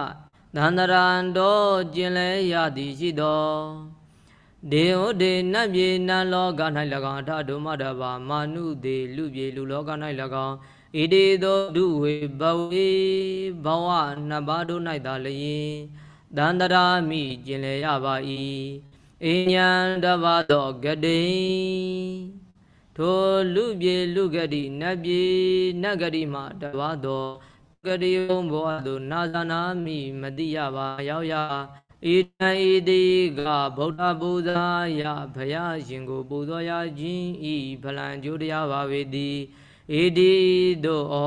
ဇာကောင်းစွာမသွေဟောကြားတော်မူခဲ့ပါ၏တည်းသာဓုသာဓုသာဓုပါဗျာ ဟောကြည့်လိုက်ဦးတဲ့အဲ့လိုမျိုးတန်တရာမှာကဘာ3000လောက်ကျင်လည်ရတဲ့အဲ့ဒီမထေရလောင်းတာကိုကြည့်တဲ့အခါတန်တရာမှာဘဝနှစ်မျိုးမှာပဲကျင်လည်ရတယ်တဲ့ဒုဝေဘဝေဘဝနှစ်မျိုးတဲ့ဘဝဘယ်နှမျိုးတဲ့တခါကြီးတွေဘဝနှမျိုးတည်းပါဗျာအဲလူပြည်သို့တော့နတ်ပြည်ကဦးဇင်းတို့ဗြဟ္မာကိုပါဒီလိုဂတိမှာကြတော့ဗြဟ္မာဂတိပါယူရတာပေါ့အဲ့တော့အဲလူပြည်လူဘဝနတ်ပြည်နတ်ဘဝဆိုတဲ့အခါမှာနတ်ပြည်ကြောက်တဲ့နဲ့ဗြဟ္မာပြည်တွေကိုပါယူရတယ် အဲ့လိုလူပြည်လူဘဝနတ်ပြည်နတ်ဘဝမှာပဲကျင်လည်ရတယ်တဲ့အဲ့တော့အញ្ញံဂတိအဲ့ဒီလူဂတိနတ်ဂတိပေါ့ဒေဝမနုဿဆိုတဲ့ဒီဂတိနှစ်ပါးကလွဲယူကျန်တဲ့ပိတ္တတရိษံနိရယနဲ့ပိတ္တတရိษံဆိုတဲ့ဒီဂတိသုံးပါးဒုက္ဂတိဘုံဘဝကိုတကြိမ်တကာမှမလားလျောက်ရဘူးတဲ့အဲ့ဒါဘာကဲအကျိုးလဲဆိုတော့ဗုဒ္ဓပူဇာယာဘုရားရှင်ကိုပူဇော်ရခြင်းရဲ့အကျိုးတဲ့ဘုရားရှင်ကိုဘာလို့ရခြင်းရဲ့အကျိုး ဘုရားရှင်ကိုပူဇော် ပူဇော်ရခြင်းရဲ့အကျိုးပါဗျာဘုရားရှင်ကိုပူဇော်ရခြင်းရဲ့အကျိုးတဲ့ဒကာကြီးတွေတို့မှရရှိတယ်မကောင်းဘူးကောင်းမှပါလေဗျာ။ဟောင်းလေအဲ့တော့တပည့်တော်တို့ကရောဆိုတော့တို့ဒကာကြီးဒကာမကြီးအခုမိမိတို့ကဒီလိုမျိုးဩဒရမထေရမြတ်လောင်းနေရခဲ့သူဘုရားကိုပူဇော်တဲ့ပူဇော်မှုမျိုးတို့ဒကာကြီးဒကာကြီးဒကာမကြီးတွေမှာဦးဇင်းတို့အားလုံးမှာအခွင့်အရေးမရှိဘူးလားရှိပါတယ်ဗျာ။ ရှိနေတယ်ဦးဇင်းတို့ကတကယ်ပူဇော်တတ်လို့ရှိရင်ဒီအကျိုးတရားမျိုးတွေအနာဂတ်ဘဝကိုအကောင်းဆုံးတန်ត្រာခီးအစုံမတက်ခင်အစုံမတက်နိုင်သေးလို့အနာဂတ်ခီးကိုဆက်ရမယ်ဆိုရင်အနာဂတ်ဘဝတွေကိုအကောင်းဆုံးပုံပေါ်နိုင်တဲ့အခွင့်အရေးတွေတို့ဒကာကြီးတွေဒကာမကြီးတွေဦးဇင်းတို့အားလုံးမှာရှိမနေဘူးလားရှိနေပါတယ်ဗျာရှိနေတယ်ရှိနေတယ်အဲ့တော့ ပြောစရာတော့ရှိတာပေါ့ဥဒ္ဒရမထေရမြတ်လောင်းလျာကတက်တော်တင်ညာဘုရားနဲ့တွေ့ခဲ့တယ်ဗျာတပည့်တော်တို့ကတော့တက်တော်တင်ညာဘုရားနဲ့မှမတုံမစုံရမကြုံရတာလို့ပြောဒါပေမဲ့ဘုရားရှင်ကအဲ့လိုမျိုးဒါစင်ကျင်ပေးမှဆိုလို့ဘုရားရှင်ကဗာပြောထားတော့တန်နေနေဗုဒေဇာပိတမေစိတ်တံတမံဖလံတဲ့ဟောတိဋ္ဌံနေနေဗုဒေဇာပိပရိနိဗ္ဗာန်ဇံယခုမျက်မှောက်ထင်ရှားရှိနေတဲ့တက်တော်တင်ညာဘုရားရှင်ကိုတော်၎င်းပရိနိဗ္ဗာန်ဇံတော်မူသောကော ဓမ္မသမုဒ္ဒဘုရားရှင်တို့ကိုတော်၎င်းတဲ့တမေစိတ်တံတမံဖလံတဲ့တမေညီမြတဲ့စိတ်နေစိတ်ဓာတ်နဲ့တက်တော်တင်ညာဘုရားရှင်ကဲ့သို့ကိုပရိနိဗ္ဗာန်ဇံတော်မူပြီးလို့ဒါဘုံတော်ကိုပဲဖူးမြော်နေရတဲ့ဘုရားရှင်ကပြိဋိဘံဆံတော်မူသွားပြီးဖြစ်တဲ့ဘုရားရှင်ကိုမိမိတို့ကတတ်တော်တရားဘုရားကဲ့သို့အယုံယူပြီးတော့ပူဇော်လှူဒန်းမယ်ဆိုရင်စိတ်ထားကညီမျှခဲ့မယ်ဆိုရင်တဲ့တမေစိတ်ရန်တမန်ဖလံ တူမြသောအကျိုးကိုရတယ်တဲ့ဘာကိုရတော့သူများတဲ့အကျိုးကိုရနိုင်ပါတယ်ဗျာကြောင့်မလို့တကယ်ကြီးဒီကမကြီးဦးဇင်းတို့ဟိုရှေ့တုန်းကပြောခဲ့ဘူးတယ်အဲ့ဒါကုသိုလ်ကောင်းမှုတစ်ခုဒီမွန်မြတ်ပြီးတော့ပြည့်ပြည့်စုံတဲ့ကောင်းမှုတစ်ခုဖြစ်ရည်ဒီဒကာကြီးတွေဒကာမကြီးလှူဝဲဝိတုကအဓိကလားစိတ်နေစိတ်ထားကအဓိကလားဆိုတော့စိတ်နေစိတ်ဓာတ်ကအဓိကပါဗျာ စိတ်နေစိတ်ထားကအဓိကပဲလို့ဒီလိုလဲသဘောကျရမယ်ကောင်းပြီဒါကြောင့်မလို့ယနေ့တို့ဒကာကြီးတွေဒကာမကြီးဦးဇင်းတို့အားလုံးမှာခွင့်ရရှိတယ်ဘုရားရှင်ကိုပူဇော်မယ်ဆိုနေ့စဉ်နေ့အများဒကာကြီးတွေဒကာမကြီးတွေဘုရားမလေးတွေမှန်မှန်လှူမယ်ဆိုရင်ဒါလှူခွင့်မရှိဘူးလားလူကင်းရှိပါတယ်ဗျာလူခွင့်လည်းရှိတယ်လှူဖို့ရအခွင့်အရေးကိုမိမိတို့မှာလှူနိုင်တဲ့စွမ်းရည်ကိုမရှိဘူးလားဆိုတော့လူနိုင်တဲ့အစွမ်းလည်းအစွမ်းလည်းရှိပါတယ်ဗျာအဲ့ဒါဆိုဒကာကြီးတွေဒကာမကြီးဒီမထေမြတ်က ခုဘဝဇာကြောင်းလေးကိုကြည့်ပြီးဦးဇင်းတို့တကားတဲ့တန်တနာကိုလည်းခရီးကိုအဆုံးတတ်နိုင်အောင်ကြိုးစားရမယ်တန်တနာခရီးအဆုံးမတတ်နိုင်တော့အခုလိုမုံမြတ်တဲ့စိတ်ဓာတ်ကြည်လင်တဲ့စိတ်ဓာတ်ဝမ်းမြောက်တဲ့စိတ်ဓာတ်နဲ့ဘုရားရှင်ကိုနေ့စဉ်ပန်းလေးမုံမြတ်မြတ်ကတ်နေရင်တော့တတ်တော်တင်ညာဘုရားရှင်ကတမ္မာသအရဟံအစဘဂဝါအဆုံးဂုဏ်တော်ကိုးပါးကိုအာယုံပြုပြီးလို့ဘုရားရှင်ကိုဒီပန်းကိုနေ့စဉ်နဲ့မျှလှူနေမယ် ဒါသူကတစ်ချိန်တစ်ခါလှူခွင့်ရတယ်ဦးဇင်းတို့ကနေ့စဉ်နဲ့မျှလှူနေမယ်တခါကြီးတခါမကြီးတွေတို့တခါကြီးတွေတခါမကြီးဦးဇင်းတို့ရဲ့အနာဂတ်ခရီးဒီမကောင်းနိုင်ဘူးလားကောင်းနေပါတယ်ဗျာအမေဦးဇင်းတို့အနာဂတ်ခရီးကိုအကောင်းဆုံးအနာဂတ်ဘဝတွေအတွက်ဦးဇင်းတို့ရည်ညွှန်းပြီးဟောနေတာတော့မဟုတ်ဘူးဒီတရားရဲ့အဆုံးမှာတော့ဦးဇင်းတို့ဘဝတွေကညီငွေစရာတွေကိုလည်းတို့တခါကြီးတခါမကြီးတွေ့ရဒါပေမဲ့ပြောချင်တာကသန္တနာခရီးကိုအဆုံးမတတ်နိုင်သေးခဲ့ရင်တော့အနာဂတ်ဘဝတွေဒီလေတခါကြီးတခါမကြီးတွေကောင်းမွန်တဲ့ မွန်မြတ်တဲ့ဘဝမျိုးရရင်မကောင်းဘူးလားကောင်းပါတယ်ဗျာအဲ့လိုမုံမြတ်တဲ့ဘဝကိုရဖို့ကတကကြီးတွေဒီကမိုက်တွေတိတ်ခက်ခဲနေသလားဆိုတော့သိတော့မခက်ခဲပါဗျာတိတ်တော့မခက်ခဲပါဟုတ်တယ်တိတ်တော့မခက်ခဲဘူးဒါပေမဲ့ကိုကဒီအပေါ်မှာတခါမုံမြတ်တဲ့စိတ်ဓာတ်နဲ့လေးလေးစားစားနဲ့စိတ်ကိုမထားတတ်ရင်တော့လေဒါဘဝတွေဒီဘယိုဘယက်နဲ့ပြိုကျဲပြီးသွားနိုင်တယ်သို့တော့မိမိတို့ကစနစ်တကျဒါ စိတ်နေစိတ်ဓာတ်တွေကိုပြင်နိုင်ရင်တော့ဒါဦးဇင်းတို့အကောင်းမြတ်တဲ့ဘဝတွေကိုရနိုင်တယ်အဲ့တော့ဦးဇင်းတို့ဒီမှာ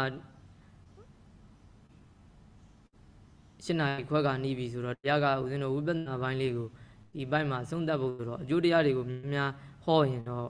အဲ့ဒါအချင်းကမိမာတော့မဟုတ်ဘူးထင်တယ်ဦးဇင်းကဘဝကညီငွေပုံပိုင်းလေးကိုဝိပဿနာပိုင်းလေးတွေတော့တင်းတော့တင်းပြီးတော့ဟောဖို့တွေးထားတာ အခုကစုတော့ဟိုရရှိတဲ့အကျိုးတရားပဲရှိသေးတော့အဲတိုးတော်လည်းဒီမှာနောက်ဆုံးပုံလေးဒီမှာအချင်းချုပ်ပြီးတော့အကျိုးတရားတွေကနောက်ဆုံးအကျိုးတရားလေးတစ်ခုထပ်ပြီးတော့ဒီမှာဟောအောင်မယ်အဲ့ဒါဘာပြောတုံဆိုတဲ့အခါကျတော့မြတ်ကဆက်ပြီးတော့အာရအတုယူဝေရာဆက်ပြီးတော့ဟောတယ်ဘာလို့ဆိုတဲ့အခါကျတော့ဒေတံဩနနဇာနာမိပရိလာဟောနဝိဇ္ဇတိအထောစေတတိကံဒုက္ခဟရယံမိနဝိဇ္ဇတိ ပုဏ္ဏနောဟုတောနာတန္တရာမိဘဝဘဝေဝေဝနိနနာမိဘပူဇာယိတံဖလံအဟံငါတိဘဝဘဝေဘဝကြီးငယ်သွဲသွဲ၌တန္တရံတော်ကျင်လဲရသည်ရှိတော်ဒီယံဇာအေ၎င်းအုံနံဇာဘုကို၎င်းနာဇာနာမိမတိရပါတဲ့အဲ့ဒါပူလိုက်တာအေးလိုက်တာဆိုတာမျိုးတဲ့နောက်တခါဗရိလာဟောဇ ကိုတွင်၌ပူလောင်ရခြင်းကိုလည်းနာဝိတိမတိရပါတဲ့အဲ့တော့တခါကြီးတက္ကမကြီးတွေဒါသည်သူ့ရဲ့ဒဏ်ကိုမခံရဘူးလို့ပြောတာပေါ့။ဘာရဲ့ဒဏ်ကိုမခံရတာဒါဒီဥဒုရဲ့တံမခံရပါဘူးလို့ပြောတာပါဗျာအဲ့တော့ဘူးတယ်အေးတယ်ဆိုတော့မသိရဘူးဆိုတော့ကံတိတ်ကောင်းနေတဲ့ငါလျောဘောငါတိတ်ကကံအချိန်ဝါကောင်းတော့တခါကြီးတွေတက္ကမတွေရောက်လျာဘောမှာပြုသုံးနဲ့မြတ်တာအသုံးအဆောင်တွေက ဒါရှိနေမှာပေါ့သူခေသူအခါအလိုက်နော်ဥရုသုံးမနဲ့ညီညွတ်တဲ့ဥရုသုံးမနဲ့မျှတတဲ့အသုံးဆောင်တွေကရှိနေတဲ့အခါကျတော့ဒုတကကြီးတက္ကမတွေကြီးခုချိန်ဆိုအေးကောင်းအေးနေမှာပေါ့ဒါပေမဲ့မှတောင်းနေပြီတော့အေးပေမဲ့လေအေးမှန်ခံစားရလားမခံစားရပါဗျာခံစားရအောင်ကို့မှာသုံးဆောင်တွေကရှိနေတော့အခါလေအေးလို့လေအေးမသိဘူးဟောတယ်ဗမာပြည်မှာပူတယ်ပူတဲ့ခါကျတော့လေပူပေမဲ့လေဟောအတိတ်ကကန်ရှိတဲ့ပုံကိုယ်တွေကတော့အဲ့ပူတဲ့ဒဏ်ကိုကောင်းကောင်း ဒါတမညာနေတူမခံရဘူးဘာဖြစ်လို့တော့အသုံးဆောင်တွေကရှိနေတယ်ဘာတွေကလေအသုံးဆောင်တွေရှိနေတော့ပါဗျာဒါပေမဲ့သုံးဆောင်တွေရှိနေပေမဲ့လေကုခေတ်သုံးဆောင်တွေအလုံးကလျှက်စစ်နဲ့သုံးရတာဆိုတော့လျှက်စစ်မရှိရင်ဘာဖြစ်တော့တခါကြီးတွေတော့မကြီးဝင်နေပါပါဗျာခံပေအောင်တော့ဗောနော်ဒါပေမဲ့တော့တကကြီးတကမကြီးတွေဝမ်းမြောက်ပြင်းအောင်တော့ပြောအောင်ပါပဲကြက်လား အဲ့တော့လက်စစ်ကမီးမမှန်မြဲကိစ္စမရှိဘူးဦးဇင်းတို့ကခုတော့ဘာဖြစ်လို့ဆိုတော့ကျမတို့တကကြီးတကမကြီးတွေစုပေါင်းပြီးလှူတာတော့ဘာဖြစ်လို့ဆိုတော့ဆိုလာရှိတယ်ဘာရှိတော့ဆိုလာတက်ပြားတွေရှိနေပါတယ်ဗျာအဲအဲ့တော့ဟာလားအဲကုန်းသုံးလေးလုံးတော့ကောင်းကောင်းသုံးလို့ရတော့ဦးဇင်းတို့ကလည်းမမှုဘူးဟုတ်လားဟုတ်ပါကဲအဲ့တော့ပြောချင်တာကဘာလဲဆိုတဲ့အခါကျတော့အဲ့လိုဥဒုံသုံးပါးကိုမျှတတဲ့အသုံးဆောင်တွေနဲ့ဆိုတော့အဲ့ဒါအပူဒံအေးဒံပူလောင်တဲ့ဒံတွေခံရလားဆိုတော့သိမခံရတော့ပါဗျာမ ခံရတော့ဘူးတဲ့နောက်တကဘာပြောတော့အထာဓုမတဘာစေတတိကံဒုက္ခံစိတ်၌ဖြစ်တဲ့ပူပန်ရာခြင်းစင်ရသည်လည်းပဲမေငါဤဟရေနှလုံးသားနဝိဇ္ဇတိထင်ရှားမရှိခဲ့ပါတဲ့စိတ်တော့ကရောက်စရာတွေလည်းနှလုံးသားထဲမှာမခံစားရဘူးတဲ့စိတ်တော့ကရောက်စရာတွေဒကာကြီးတွေဒကာမကြီးတွေခံစားရသလားဆိုတော့မခံစားရတော့ပါဗျာမခံစားရဘူးတဲ့ဒီတော့ဒကာကြီးတွေဒကာမကြီးတွေဒကာလေးကြလဲဦးစင်းတို့တကြောင်မလို့ ဗုဒ္ဓဘာသာလူမျိုးတွေကတော့ကံမတက္ကတာညာကလည်းအခြေခံရှိပြီးသားဆိုလေတော့အခြေခံရှိပြီးသားဆိုတော့တခါလေဦးဇင်းတို့တို့ဒကာကြီးတွေဒကာမကြီးကြုံရကြုံရတဲ့ဒုက္ခဒုက္ခတွေဒီတစ်ခါကပြန်ကြည့်ပြန်တော့လည်းပဲပြုသူအသေးခံသူအဟောင်းဟုတ်လားအဲပြုသူအသေးခံသူအဟောင်းဆိုတကယ်သူပဲအဲ့ဒါခံနေသမျှကတော့ဒကာကြီးဒကာမကြီးအတိတ်ကရှိလို့ခံနေရတာပဲဒါကတော့ဦးဇင်းတို့ရှောင်လဲလို့ရမလားရှောင်လဲတော့မရနိုင်ပါဗျာလဲလို့ရအဲ့ဒီမရတာကိုဦးဇင်းတို့ကဓမ္မအသိဉာဏ်လေးနဲ့ရှင်တွဲပြီးတော့သွားရင်တော့ဒကာကြီးတွေဒကာမကြီးတွေပါပြောတစ်ဖက်ကတော့ခံရတာချင်းတူပေမဲ့မတက်တာဘူးလားတတ်တာပါတယ်ဗျာဓမ္မတက္ကရာဉာဏ်ကိုအခြေခံအသိဉာဏ်ရှိထားတဲ့သူတော်ကောင်းတစ်ယောက်အတွက်တော့မလွဲတာလို့အခုလိုဒုက္ခဒုက္ခတွေနဲ့ကြုံရပြီစုံရပြီညာလေအဲ့ဒီတဲမှာနှလုံးသားမှာပူလောင်ခြင်းကတော့မတက်တာဘူးလားတတ်တာပါတယ်ဗျာတက်တာတယ် အခုဒီမှာမထေမြတ်မှာကျတော့အဲ့လိုကန်ဒီကိုစနစ်တကျပြုစုပြိုးထောင်တဲ့အခါကျတော့အဲ့လိုရှင်လျရတဲ့တန်တနာကြီးမှာကျင်လည်နေရပြီမေတဲ့စေတသိက်ကဒုက္ခလို့ခေါ်တဲ့စိတ်ပူပန်ရခြင်းစိတ်ဆင်းရဲဒုက္ခရောက်ရခြင်းဆိုတာဒီမဖြစ်ဘူးတဲ့နောက်ပြီးတော့ဗာပြောတော့ဒွန်နာဒွန်နောဟုတ်တော်နာဒွန်နာဝနောရွှေအစင်းကဲ့သို့ကောင်းမြတ်သောအစင်းရှိသည်ဟုတ်တော်နာဖြစ်၏ဘဝဘဝေဘဝချင်းငယ်အသွဲသွဲ၌တန်တရာမိကျင်လည်ရပါ၏တဲ့ကဲကြည့်လိုက်ဟောအဲ့ ကဘာပေါင်းများစွာကဘာပေါင်း3000လောက်ဘဝပေါင်းများစွာကျင်လည်ရတဲ့အခါမှာလေဖြစ်လေရဖြစ်လေရဘဝမှာတဲ့သုနာဝန္နောရွှေအစင်းကဲ့သို့တဲ့ကောင်းမြတ်တဲ့ရုပ်ရည်အစင်းနဲ့ပြည့်စုံနေတဲ့ဒီကမကြီးဒါလည်းတန္တရာကြီးမှာတန္တရာကြီးကိုစုံမတတ်နိုင်လို့တန္တရာမှာကျင်လည်ရမယ်ဆိုရင်တော့အဲ့လိုရုပ်ရည်အစင်းလာတဲ့ဘဝလေးရတကကြီးတွေတကကြီးတွေမကောင်းဘူးလားကောင်းမွန်ပါတယ်ဗျာကောင်းတာဗောကောင်းတာ အဲ့တော့လူတိုင်းကလည်းလူချင်းကြတာတတ္တဝါတိုင်းတတ္တဝါတိုင်းကတော့နောက်ဆုံးဦးဇင်းတို့လူသားမပြောနဲ့တိရစ္ဆာန်လေးတွေတောင်မှပဲလှကျင်ပတ်ကြတာတခါလေကျတော့တခါကြီးတွေကမကြီးတိရစ္ဆာန်ပဲလीဘာမှသိမှာမဟုတ်ဘူးလို့ဒီလိုတော့ပြောလို့မရအောင်เนาะတိရစ္ဆာန်လေးလှကျင်တာပဲအဲ့တော့တိရစ္ဆာန်တော့လှကျင်မှတော့လူဆိုရင်တော့ပြောမနေနဲ့တခါကြီးတွေကမကြီးမလှကျင်ဘူး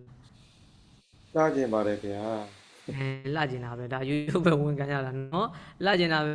ငယ်ငယ်ကလည်းလှကျင်တာပဲကြီးသွားရင်တော့ ပို့စားကြပြီးည့်သေးတာပဲပါတယ်ဗျာငယ်ငယ်ကလည်းလှကျင်တယ်ကြီးသွားတော့လည်းပို့ပြီးတော့လှကျင်တာပဲအဲ့တော့တခါကြီးတခါမကြီးတခါလေးမှာကြုံတွေ့နေရတဲ့ဘဝဒုက္ခတွေနဲ့ပြင်မဲ့နေတဲ့အခါတခါလေးအဲရေရမောရတာလေးပဲဘာဖြစ်တော့ဆိုတော့အဲစိတ်ထဲမှာလန်းဆန်းမသွားဘူးလား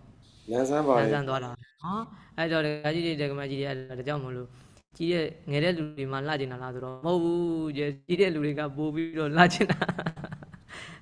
ကြီးတဲ့လူတွေကလှကျင်တဲ့တော့ပြောရင်လည်းဟုတ်တော့အေးသွားရကလေးကမကောင်းတော့ဘူးအဲ့တော့တားလေးသမီးတွေကိုသွားပြီးတော့သွားလေးထားလာလေးဆက်ချင်တယ်ပြောရတယ်မကောင်းတော့သွားလေးလဲကျိုးတော့ဘယ်ကိုလဲပြောစားလို့တောက်လို့ကလည်းမကောင်းတော့ပါဘူးဟုတ်လားစားလို့လို့မကောင်းတော့ပါဘူးဆိုတော့တားလေးသမီးတွေကသွားလေးစိုက်ပေးရတာဟုတ်လားအဲ့တော့ဗာလဲဆိုတဲ့အခါကျတော့တကယ်တမ်းကတောင်းတဲ့ပြင်တော့စားလို့ရနေတာဒါပေမဲ့တကြိုးကြီးနဲ့မနေချင်တာဗာလဲမနေချင်တာ ရိုးအနေနဲ့မနေတကြိုးကြီးနဲ့မနေချင်ဘူးလှချင်တယ်လှချင်တဲ့အခါကျတော့အဲ့ဒါအကြောင်းပြလူကြီးဆိုတော့လေအကြောင်းပြချက်တရားတွေကပို့ပြီးများပုံရပါတယ်လားဝါလူကမရဘူးဟင်းရွက်ပြုတ်တိုးလိုက်တော့လည်းပဲဘာဖြစ်တော့သွားကြကညင်သေးနားလေလားအဲငချောင်းချမ်းလေးလည်းတိတ်ဝါမရဘူးဆိုတော့ဒါကလေးအံပုံလေးချိန်လိုက်ကြအောင်ဟေးအဲ့တော့လှကျင်တာလှကျင်ပြောကျင်တာကဘာလဲတော့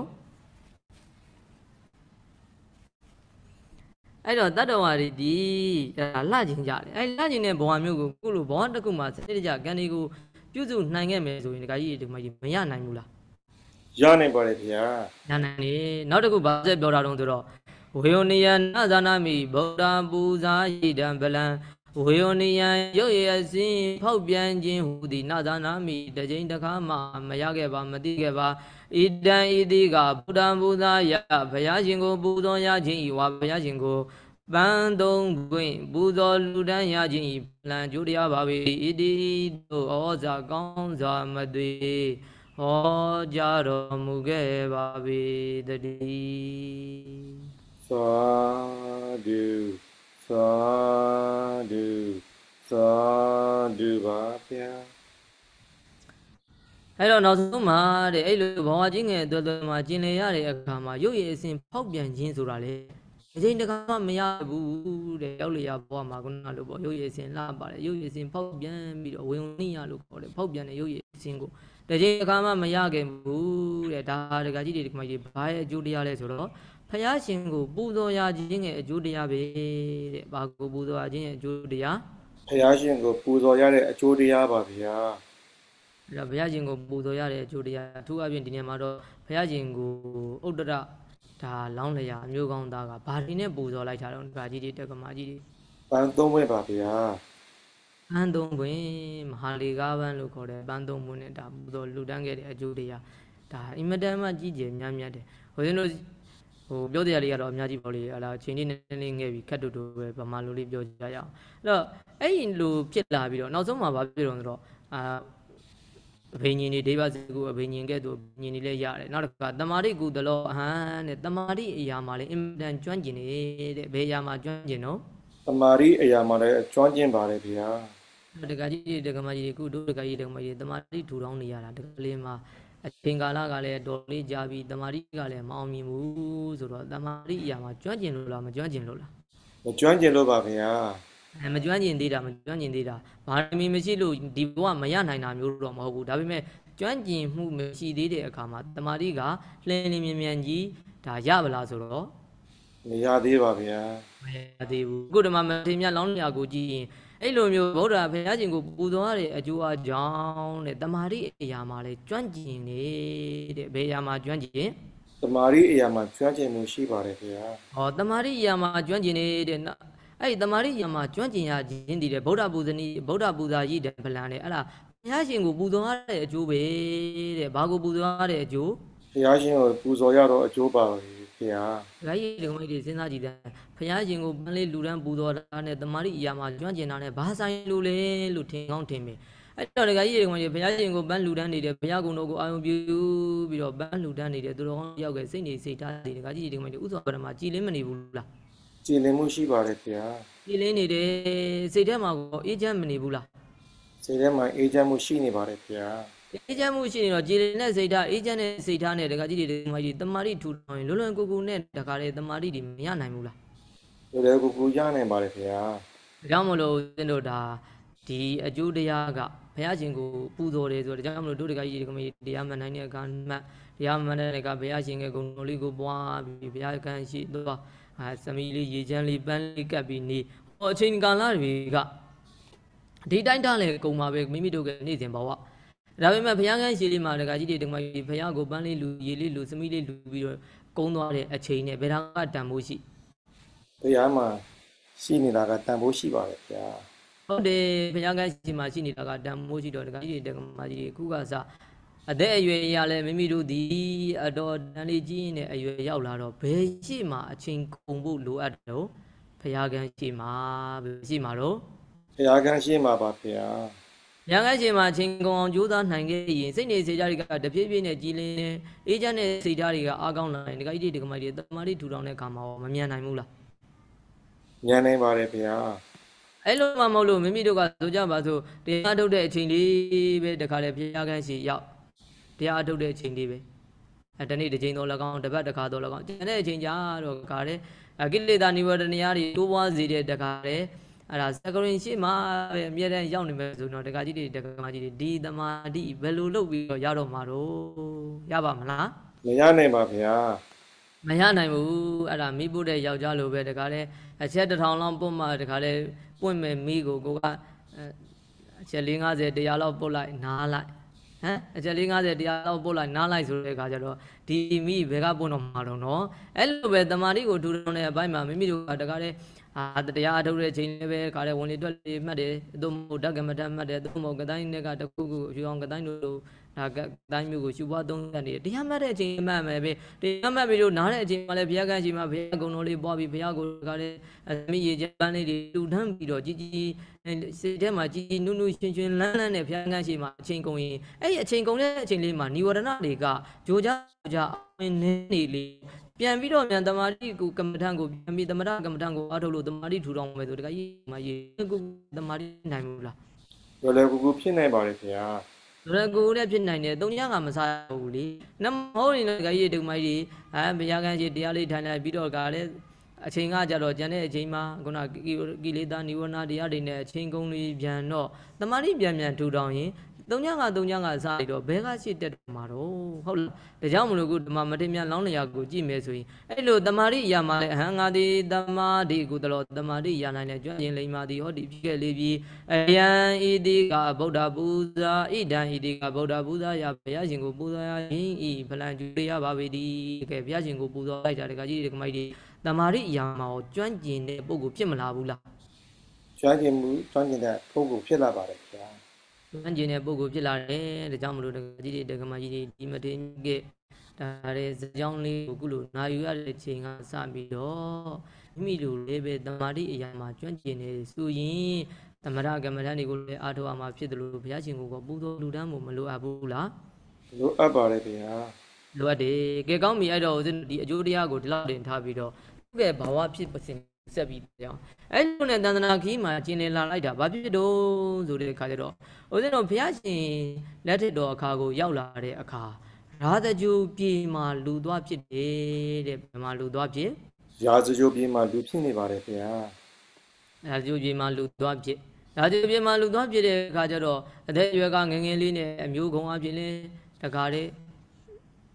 မုံမြတ်တဲ့အမျိုးမှဖြစ်ရတယ်မြင့်မြတ်တဲ့အမျိုးမှဖြစ်ရတယ်ရုပ်ရည်အစဉ်အပြင်လည်းအင်မတန်မှတကားလဲဂျောမောလာပါတယ်ပညာကုံအပြင်လည်းငယ်ငယ်ရွရွနဲ့တက်တင်တက်တက်တဲ့ဒါပညာရက်တွေကိုလေ့လာပြီးတော့လွယ်လွယ်ကူကူနဲ့တက်မြောက်တယ်တက်မြောက်တဲ့အတွက်ကြောင့်ဘာဖြစ်လို့ဆိုတဲ့အခါဂုံတရင်ကကြော်စောလာတယ်ဂုံတရင်ကြော်စောလာတော့တကကြီးတကမကြီးကလေးတူတယောက်ပေါ်လေအမျိုးကုန်းသားလေးတယောက်ဂုံတရင်နဲ့အမျိုးကလည်းကောင်းတယ်ပညာရည်ချင်းကလည်းကောင်းတယ်ရုပ်ရည်အစဉ်ကလည်းဂျောမောလှပါတယ်ဆိုတော့ရေပုံရအမှတ်ကြီးဘာဖြစ်လာမလို့ ဝိုင်းဝိုင်းနေနေပါဗျာ တကကြီးကတော့ဒါကတော့တကကြီးကတော့ဟမ်ဒီကလုံးလေးတော့မှတ်မိနေတော့လားเนาะဆရာတော်တကပြောတာတကကြီးကမှတ်မိတယ်တော်တာပေါ့တရားတော့တကယ်ကဲအဲ့တော့ဝိုင်းဝိုင်းလဲနေတာဟုတ်တယ်အဲ့လိုဝိုင်းဝိုင်းလဲနေတဲ့ခါကျဘာဖြစ်တုံဆိုတဲ့ခါကျအဲ့ဝိုင်းဝိုင်းလဲတဲ့အထဲမှာမှတကကြီးတွေတကမကြီးတွေဘယ်သူတွေပါလာတော့ဆိုတော့ခေစကားနဲ့ပြောရင်အကောင်ကြီးကြီးတွေပါလာတာဘာတွေပါလာတော့ အ ကောင်ကြီးကြီးတွေပါလာမှာပါဗျာကောင်းကြီးကြီးပါဝတ္တကာရာဆိုတဲ့အမတ်ကြီးတခါကြီးတခါမကြီးကြားမှာကြားဘူးမှာပေါ့နော်ဒါဒါကြိုပြေမှာဒါထင်ရှားတဲ့အမတ်ကြီးဝတ္တကာရာအမတ်ကြီးဟဲဝတ္တကာရာဆိုတဲ့အမတ်ကြီးကလည်းတခါလည်းဒီကလေးကအမျိုးတကောင်သားလေးဥဒ္ဒရဆိုတဲ့အမျိုးကောင်းသားလေးဂုံတရင်ကကြော်စိုးတော့အဲ့ကိုချင်းကပ်တယ်ချင်းကပ်ပြီးတော့ဒါသူ့ရဲ့သမီးဖြစ်သူကိုဒါအာ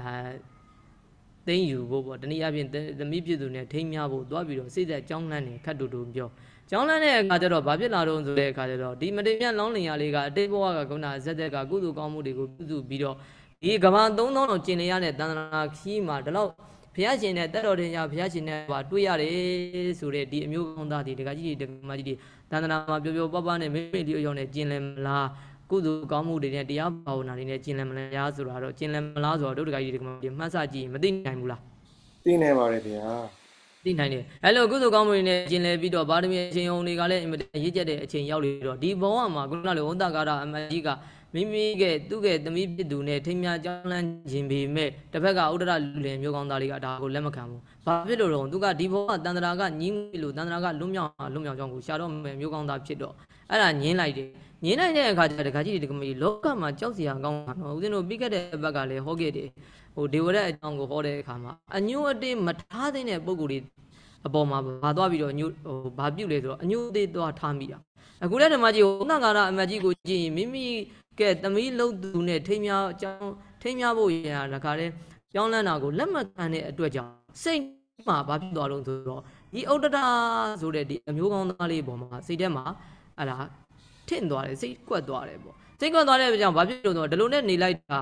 တကယ်လည်းအဲ့ဥဒ္ဒတာဆိုတဲ့အမျိုးကောင်းသားလေးကလည်းအခါလျော်စွာအရှင်သာရိပုတ္တရာမထေရမြတ်ကြီးစီကိုချင်းကပ်ချင်းကပ်ပြီးနောက်ဆုံးမှာတော့တရားဘာဝနာတွေကိုတကယ်လည်းအကျဉ်းချင်းမှန်မှန်နာယူရတဲ့အခါနောက်ဆုံးမှာတော့တကယ်တတိတံဝိကဉာဏ်ရပြီးတော့အဲ့ရှင်သာရိပုတ္တရာမထေရမြတ်ကြီးထံမောက်မှာပဲရှင်ယန်းဖြစ်ခဲ့တယ်။ဘာဖြစ်ခဲ့တော့အရှင်ရဟန်းဖြစ်ခဲ့ပါတယ်ဗျာ ရှင်သာမဏေလေးဖြစ်ခဲ့တာပေါ့။အဲ့လိုရှင်သာမဏေဖြစ်လာတဲ့အခါကျတော့ရှင်သာမဏေဖြစ်ပြီးအားလျော်စွာရှင်သာမဏေဖြစ်ခါမြမတ်တာလားဆိုတော့လည်းမဟုတ်ဘူးတဲ့တကားတဲ့ဟိုတရားတွေကိုကြည်ကြည်ပုံပုံနဲ့ဆရာသမားကခြေတော်ရင်းမှာတကားတဲ့ပြုသူလှုပ်ကြွေးနေတဲ့မျိုးကောင်းသားလေးဖြစ်ခဲ့တယ်။အဲရှင်သာမဏေလေးဖြစ်ခဲ့တယ်။အဲ့တော့ဒီနေရာမှာလည်းတကားကြီးတွေတကမာကြီးဦးဇင်းတို့နော်ယနေ့မြေမောက်မှာဆရာနဲ့တပည့်မိဘနဲ့သားသမီးဆိုတဲ့အပိုင်းမှာအဲဒီဝတရားလေးတွေကြည်ပြုံမှုလိုတယ်။ဥဒ္ဒရမထေ မြတ်လောင်းရာခုနရှင်သာမဏေလေးကိုကြည့်မယ်ဆိုရင်တကယ်ဆရာသမားအပေါ်မှာဟိုကြီးဦးငယ်ကိုကြည်ပြုံတဲ့ရှင်သာမဏေလေးတစ်ပါးဖြစ်ခဲ့တယ်။ဒါကြောင့်မလို့ရှင်အာဆရာဥပ္ပဇေကိုခါတဲ့နန်းနဲ့စောထား၍အာသင်္ကန်းကိုလက်ကတော့တင်၍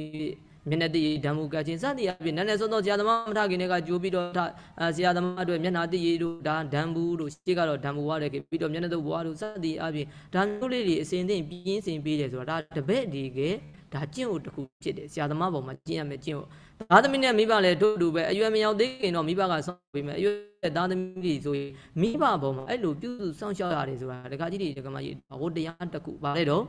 ဟိုတရားတစ်ခုပါဗျာဟိုတရားတစ်ခုတင်းရပြင်ဒါသည်စာရိတ္တသီလပဲ ဦးဇင်းတို့ဝါရိတ္တသီလဆိုတာသူ့တည်းနဲ့ဒုစာမကုန်းနဲ့ဆိုတာဒီဝါရိတ္တသီလဒါမျိုးမဟုတ်ဘဲနဲ့မိဘပေါ်မှာပြုကျင့်ရမယ်သားသမီးရဲ့ကျင့်ဥတွေကိုဖြည့်ကျင့်ရမယ်ဆိုတာဒီဒါဒီစာရိတ္တသီလကျင့်ကိုကျင့်ရမှာပဲကျင့်ရင်ကုသိုလ်ရတာပဲမကျင့်လို့တော့အကုသိုလ်ဖြစ်သလားဆိုတော့မကျင့်လို့အကုသိုလ်ဖြစ်တာမဟုတ်ပေမဲ့ကျင့်ရမယ်ကျင့်ဥတွေဖြစ်တယ်အဲ့တော့သားသမီးတွေမိမိတို့အရွယ်ရောက်လာတဲ့မိမိတို့ကသားသမီးတွေကိုဒီလိုကျင့်ဥတွေကလေးတွေကိုစနစ်တကျနဲ့သွန်သင်ပြတာပြီးနိုင်အဲ့သားသမီးနဲ့အဲ့ဒီမိဘကြားမှာဒကာကြီးတွေမေတ္တာတွေကိုပို့ပြီးတော့အားကောင်းမလားဘူးလား မေတ္တာတွေပို့ပြီးအားကောင်းလာမှာပါဗျာဟောယိုသေးလေးစားမှုတွေကိုင်းဆိုင်မှုတွေကိုပို့ပြီးတော့အားကောင်းမလားဘူးလားအားကောင်းလာပါတယ်ဗျာအဲ့ဒါဒကာကြီးတွေဒကာမကြီးတွေဘက်ကသားသမီးကိုပေးရမယ်အမွေပဲအဲ့လိုမဟုတ်ပဲနဲ့ငါတို့သားငါတို့သမီးလေးကိုချစ်တယ်ဟဲ့ဆိုပြီးတော့ဒကာလည်းအဲ့ရထားမိမိတို့ကမှစောစောလေးထားသားသမီးက9နာရီ10နာရီဒကာကြီးတွေဒကာမကြီးကြီးဆိုကကြမလောင်ကမတင်နဲ့လားအဲ10နာရီ17နာရီလောက်မှအဲ့ရထားသလားမသိဘူး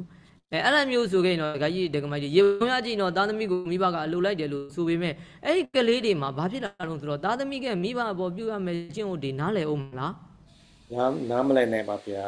နားမလည်နိုင်တော့ဘူးနောက်တစ်ခါကျင့်ဝတ်တွေကိုနားမလည်ရင်နံပါတ်1မကျင့်ပြစ်တော့ဘူးမကျင့်တဲ့နောက်မှာဘာဖြစ်တော့ဆိုတော့သားသမီးနဲ့မိဘရဲ့ဆက်ဆံရေးဒီတပြေးပြေးနဲ့တခါကြီးဒီစိတ်မလာဘူးလားတပြေးပြေးနဲ့စိမ့်လာပါတယ်ဗျာ တပြေးပြေးနဲ့စိတ်လာပြီးသားသမီးကလည်းလိုချင်တဲ့မိဘရဲ့ဝတ္တရားပဲမိဘကငါပေးရမှာပဲဆိုပြီးတော့သားသားသမီးကလည်းမိဘဘောလိုချင်တာပဲတောင်းတော့သားမိဘကလည်းထို့တူပဲသားသမီးကိုမပေးနိုင်တဲ့ကသားသမီးကမကြည့်တော့ဒါကိုပဲတခါလေအပြစ်တစ်ခုနဲ့သားသမီးနဲ့မိဘကြားမှာဒါအဲကွဲချောင်းတွေထင်တာပဲဒါကြောင့်မလို့တခါကြီးတွေမယ်တကယ်တော့ငယ်ငယ်ရွယ်ရွယ် တက်တိနားလေတဲ့အချိန်လေးရောက်လာပြီဆိုတာနဲ့သူနဲ့ထိုက်တန်တဲ့အတိတရားလေးတွေကိုတို့တခါကြီးဒီမကြီးတာပုံမှန်ပေးခဲ့မယ်ဘာသာရေးအတိတရားအဲမိဘနဲ့သားသမီးကြည့်ရမယ်ကျင့်ဖို့ဆိုတာလေးဒီဒါလေးတွေကိုပြောထားရင်ဒီသားသမီးနဲ့ဒီမိဘရဲ့တခါကြီးတွေဒီကမကြီးတွေဆက်ဆံရေးဒီအင်မတန်ကောင်းမှုတဲ့ဆက်ဆံရေးဖြစ်မယ်အဲနောက်တခါသားသမီးနဲ့မိဘမှာယူသိမှုကိုင်းဆိုင်မှုကစပြီးတော့မေတ္တာတရားတွေကုလူဆက်ဆံပြီးတော့နေရင်အဲ့ဒီမိသားစုမှာရှိတဲ့အဲ့ဒီသားသမီးဒီဟုသောဒါဥစဉ်တို့မျိုးဆက်တစ်တီတီ ဒကာကြီးဒကမကြီးတွေတနေ့ဘဝကိုအခုကိုအဆုံးတက်ရတဲ့အခါစိတ်ချစွာထားမခဲ့နိုင်ဘူးလားမျိုးဆက်တစ်တွေကိုစိတ်ကြစွာထားခဲ့နိုင်မှာပါဗျာအဲ့တော့ဒကာကြီးတွေဒကာမကြီးတွေ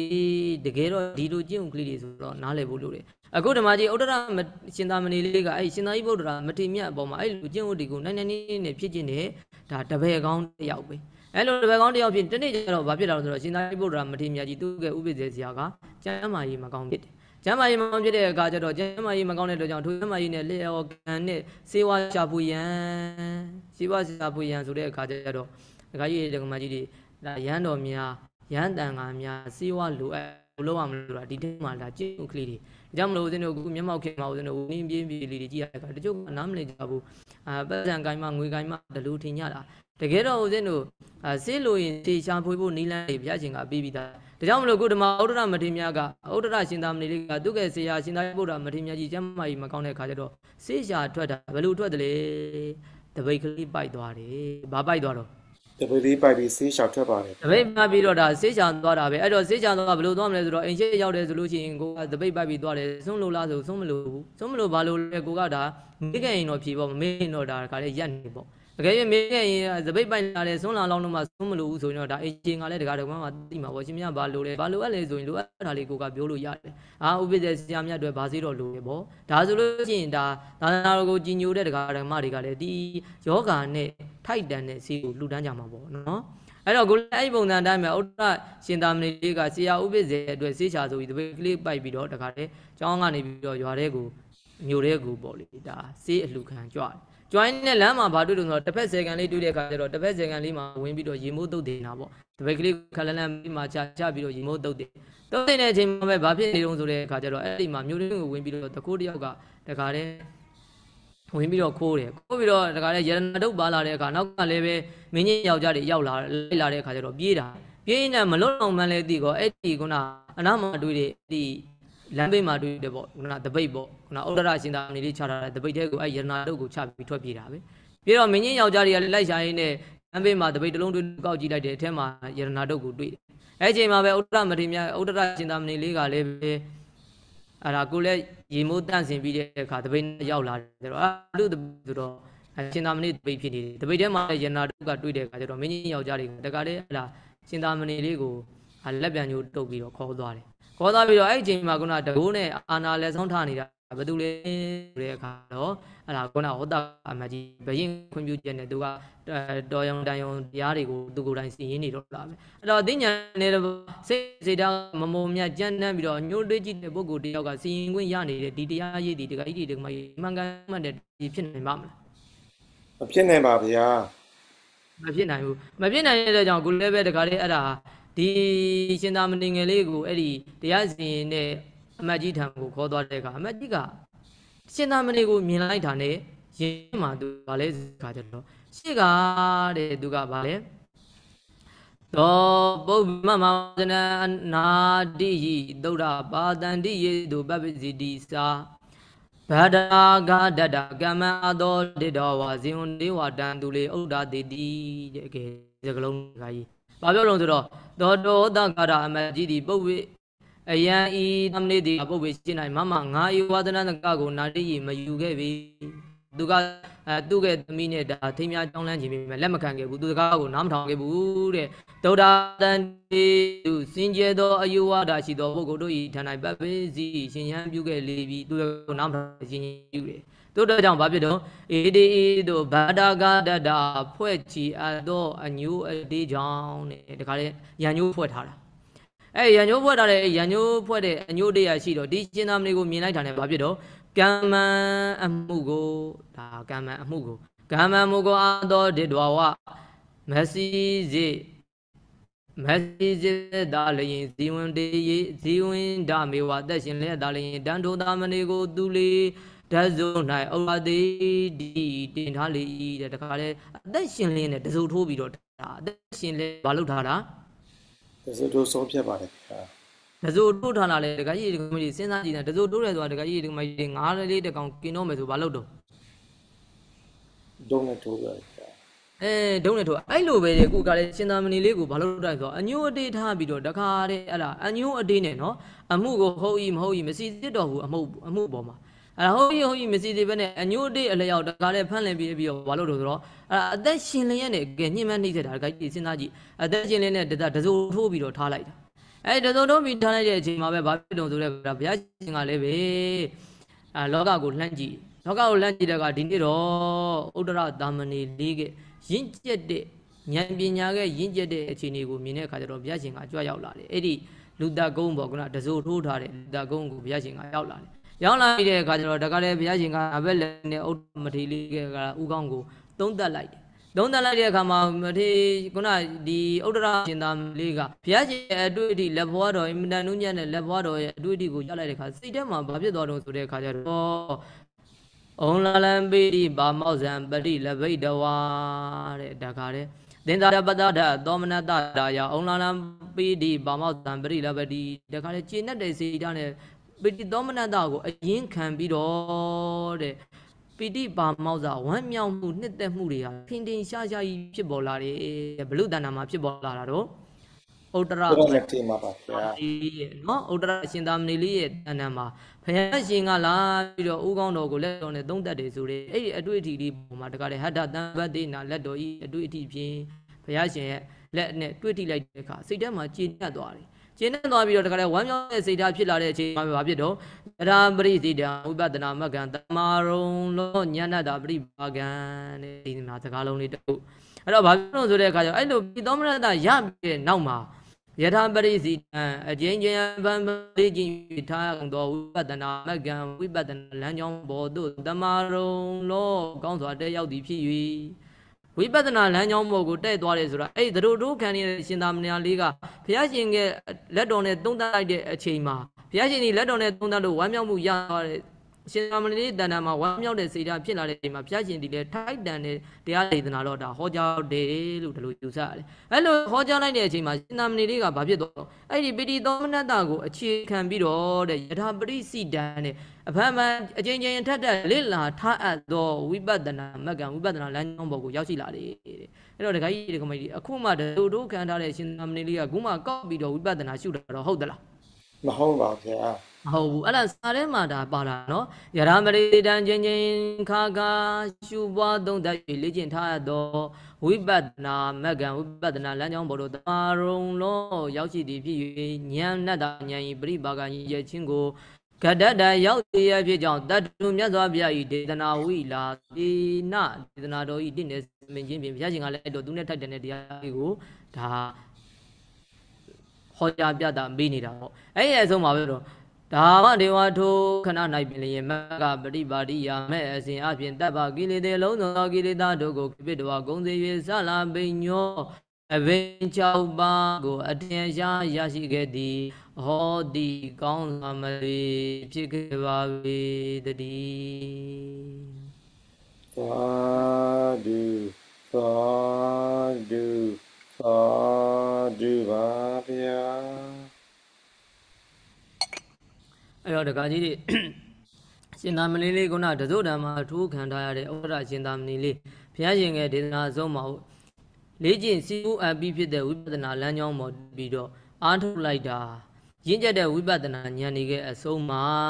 တဲ့ကိရိတာအာတော်တွေအကုန်လုံးကုန်သွားတယ်ကိရိတာအာတော်တွေဘာဖြစ်သွားပုံခန်းသွားပါတယ်ဗျာကိရိတာအာတော်တွေကုန်ခဲ့ပြီးတော့ဘိညာဉ်6ပါးနဲ့တကွာရဟန္တာဖြစ်ခဲ့တယ်ဘိညာဉ်6ပါးနဲ့တကွာ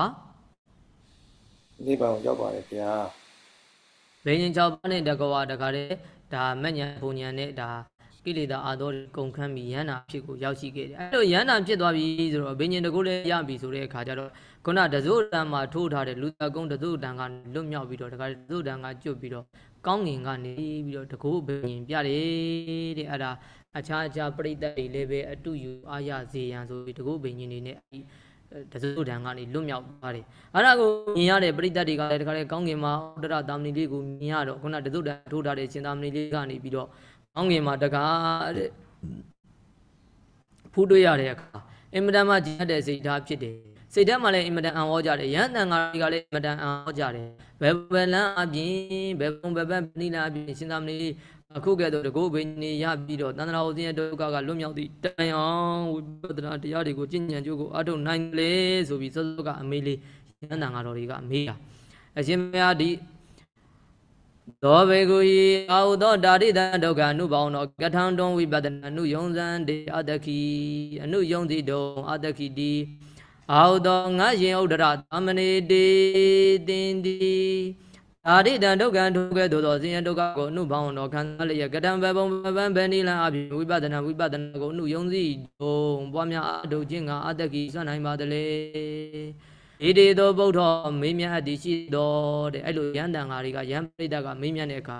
ဥဒ္ဒရမဒီကပြန်ပြီးတော့ဖြေတယ်ဘဂေဝမေယဟုသောတန်တာရေအာဒီနဝသင်္ခါရနိဇတဘာဝ ဒုဒေသင်္ခါရနိသတဘာဝဒုဒေတောဧဝံတာရိတံဒုက္ခအနုဘောင်တော့ပိအတခေဝိပဒနာဥဒေတဝဥဒေတံတိကံတုံတိအာဗန္နေအရှင်မြတ်တို့ဖရာမေငါတိပကေဝရှေ့မစွာကပင်လျင်တဲ့ရှေ့တော်တော်စောစောတဲ့ကအခုမှတကလည်းတသို့တံပေါ်ရောက်ပါမှမဟုတ်ဘူးတဲ့ဘေဝရှေ့မစွာကပင်လျင်တန်တာရေတန်တရာဤအာရိနဝအပြစ်ကို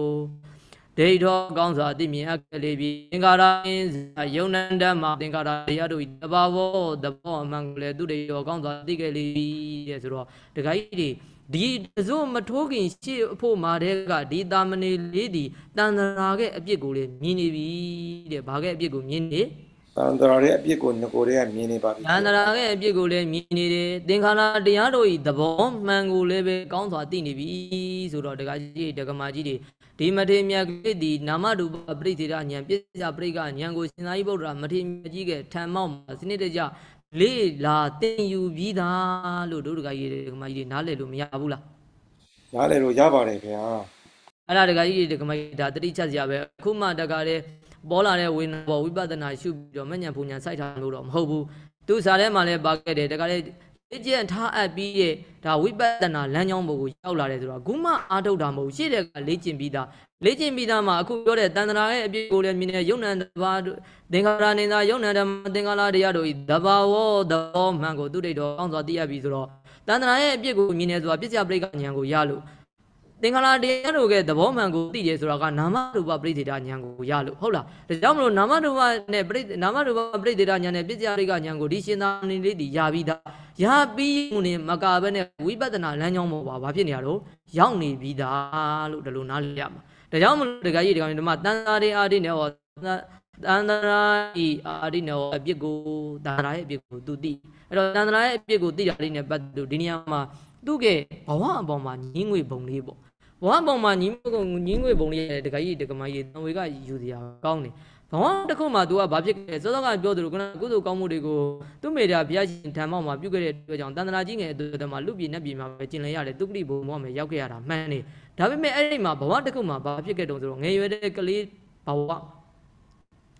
ငယ်ရွယ်တဲ့ကလေးဘဝမှာဘာဖြစ်ခဲ့တုံးဆိုတဲ့အခါကျတော့ အဲ့ဒါရင်လေးတွေကိုဖမ်းပေါ့ရင်လေးတွေဆိုတော့ဦးဇင်းတို့စားတဲ့ကတော့မကိကန်လို့ပြောတယ်ရင်လေးတွေကိုတဲ့ဖမ်းနေတော့ဦးဇင်းကတော့ဒီမှာစားရဲ့ခြေသွားကိုထောက်ဆကြည့်တဲ့အခါရင်လည်းဖြစ်နိုင်တယ်လို့ဦးဇင်းတို့ပဇင်းလေးတွေလည်းဖြစ်နိုင်တယ်အဲ့ဒီပဇင်းလေးတွေကိုဘာဖြစ်လဲဆိုတော့ဖမ်းလည်ပြီးတဲ့အခါကျတော့တဲ့မကိကန်ကေတဝါနေဘဒုလကံကေတဝါဒုရာရောပနာကိလံပရိစ္ဆအေဝံတဲ့အဲ့တော့ဘာပြောတော့ဆိုတော့အဲ့ မဦးဇင်းတို့တချို့တော့ရောက်ကလေးမှာဆိုမြင်မှုတယ်ကလေးတွေကပဇင်းလေးတွေကိုဖမ်းတယ်ပြီးတော့ဖင်လေးတွေကိုဖြတ်ပြီးတော့အဲ့ဖင်လေးကိုဘာလဲဆိုမြက်ကလေးတွေထိုးတယ်ဘာလေးတွေထိုးတော့မြက်ကလေးတွေဖွားဖွားလေးတွေမြက်ပွန်လေးတွေပွင့်နေတယ်မြက်ကလေးတွေကိုထိုးပြီးတော့လွတ်လိုက်လို့ရှိရင်အဲ့အကောင်လေးကကောင်းကင်ကိုပြန်သွားတယ်ပဇင်းလေးကပြန်သွားတော့အဲ့နောက်ကတခါလေးအဲ့ဒီကမြက်ပုတ်ကလေးကတန်းတန်းတန်းတန်းနဲ့ပါမသွားဘူးလားပါသွားပါတယ်ခင်ဗျာပါသွားတယ်အဲ့ဒီသဘောပဲကိုလေးဓမ္မသူကပါလဲရင်လေးတွေဖမ်းဆိုရင်နဲ့ပြင်းပြင်းမယ်အဲ့ပဇင်းလေးတွေပြင်းပြင်းမယ်အဲ့ဒီကောင်လေးတွေကိုဖမ်းပြီးတော့ခုနဒီ ဒဇိုထိုးတယ်ဆိုတော့ခုနပြောတဲ့သဘောပဲခုနသူတုတ်ချောင်းလေးတွေဒီမှာတော့ဒီမှာသူလန်ဆိုဦးဇင်းတမဟိုတန်ကျင်ကိုထိုးတယ်ဆိုတော့ဦးဇင်းတင်မှာလဲတမပုံလေးတွေပွင့်နေတဲ့အချိန်မှာကတဲ့အဲ့အပွင့်ခိုင်လေးကိုလှုပ်လိုက်တော့နောက်မှာအယိုးလေးပါတော့အယိုးလေးကိုဒီအကောင်လေးတွေရဲ့အထက်ကိုထိုးပြီးတော့ပြစ်လိုက်တယ်ဆိုတော့ အဲသူရာရောဘနာဆိုတော့အဲ့ဒီတန်ကျင်လေးတွေကိုအပေါ်ကိုမြောက်မြောက်ပြီးကစားတာဆိုတော့ခုနသဘောပဲငယ်ကလေးဒီအကောင်လေးတွေကိုကလည်းဒီဟာလေးတွေနဲ့ဖင်လေးကိုဖြတ်ပြီးထိုးထိုးပြီးတော့ပိတ်ပိတ်မြောက်လိုက်တော့ပြန်ပေါ့ပြန်တော့ဒီဟိုနောက်ကပါတဲ့သူထိုးထားတဲ့ဒီဒဇိုလေးကနောက်ကကောင်းကင်မှာသွားတယ်ဒါဟုတ်ကလေးဘောဆိုတော့ဒါလေးကိုပျော်လို့ကစားခဲ့တာအဲ့လိုတတ်တော်လေးကိုညှိမှန်းနှိပ်စက်ခဲ့တာအဲ့ဒီကံကတဲ့ဘာလို့ သူရာဗန္နာဂီရံပရိသသူရာရောဗန္နာဂီရံဒဇုကိုမြောက်၍မြောက်၍ကစားခြင်းကိုပရိသဇွဲ့ပြု၍ဧဝံဤသို့အနေကဇာတိတရေသူများစွာသောဘဝအရာတို့၌သူရာရောဗန္နာဒုက္ခ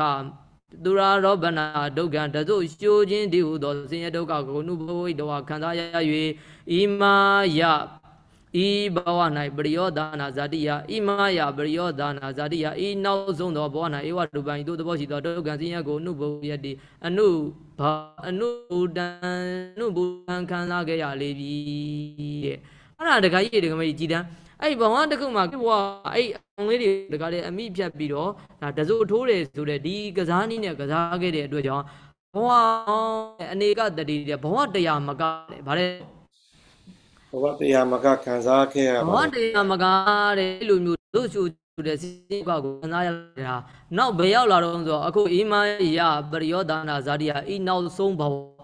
ဤနောက်ဆုံးမှာလေဧဝရုပံဤသို့သဘောရှိသောဒုက္ခဆင်းရဲကိုဘူတံခခဲ့ရလိပြီတဲ့ဒီနောက်ဆုံးဘဝမှာလည်းအဲ့လိုခံစားရတာဒါအတိတ်ကကံကြောင့်ဆိုတော့ तू ကောင်းကောင်းမသိဘူးလား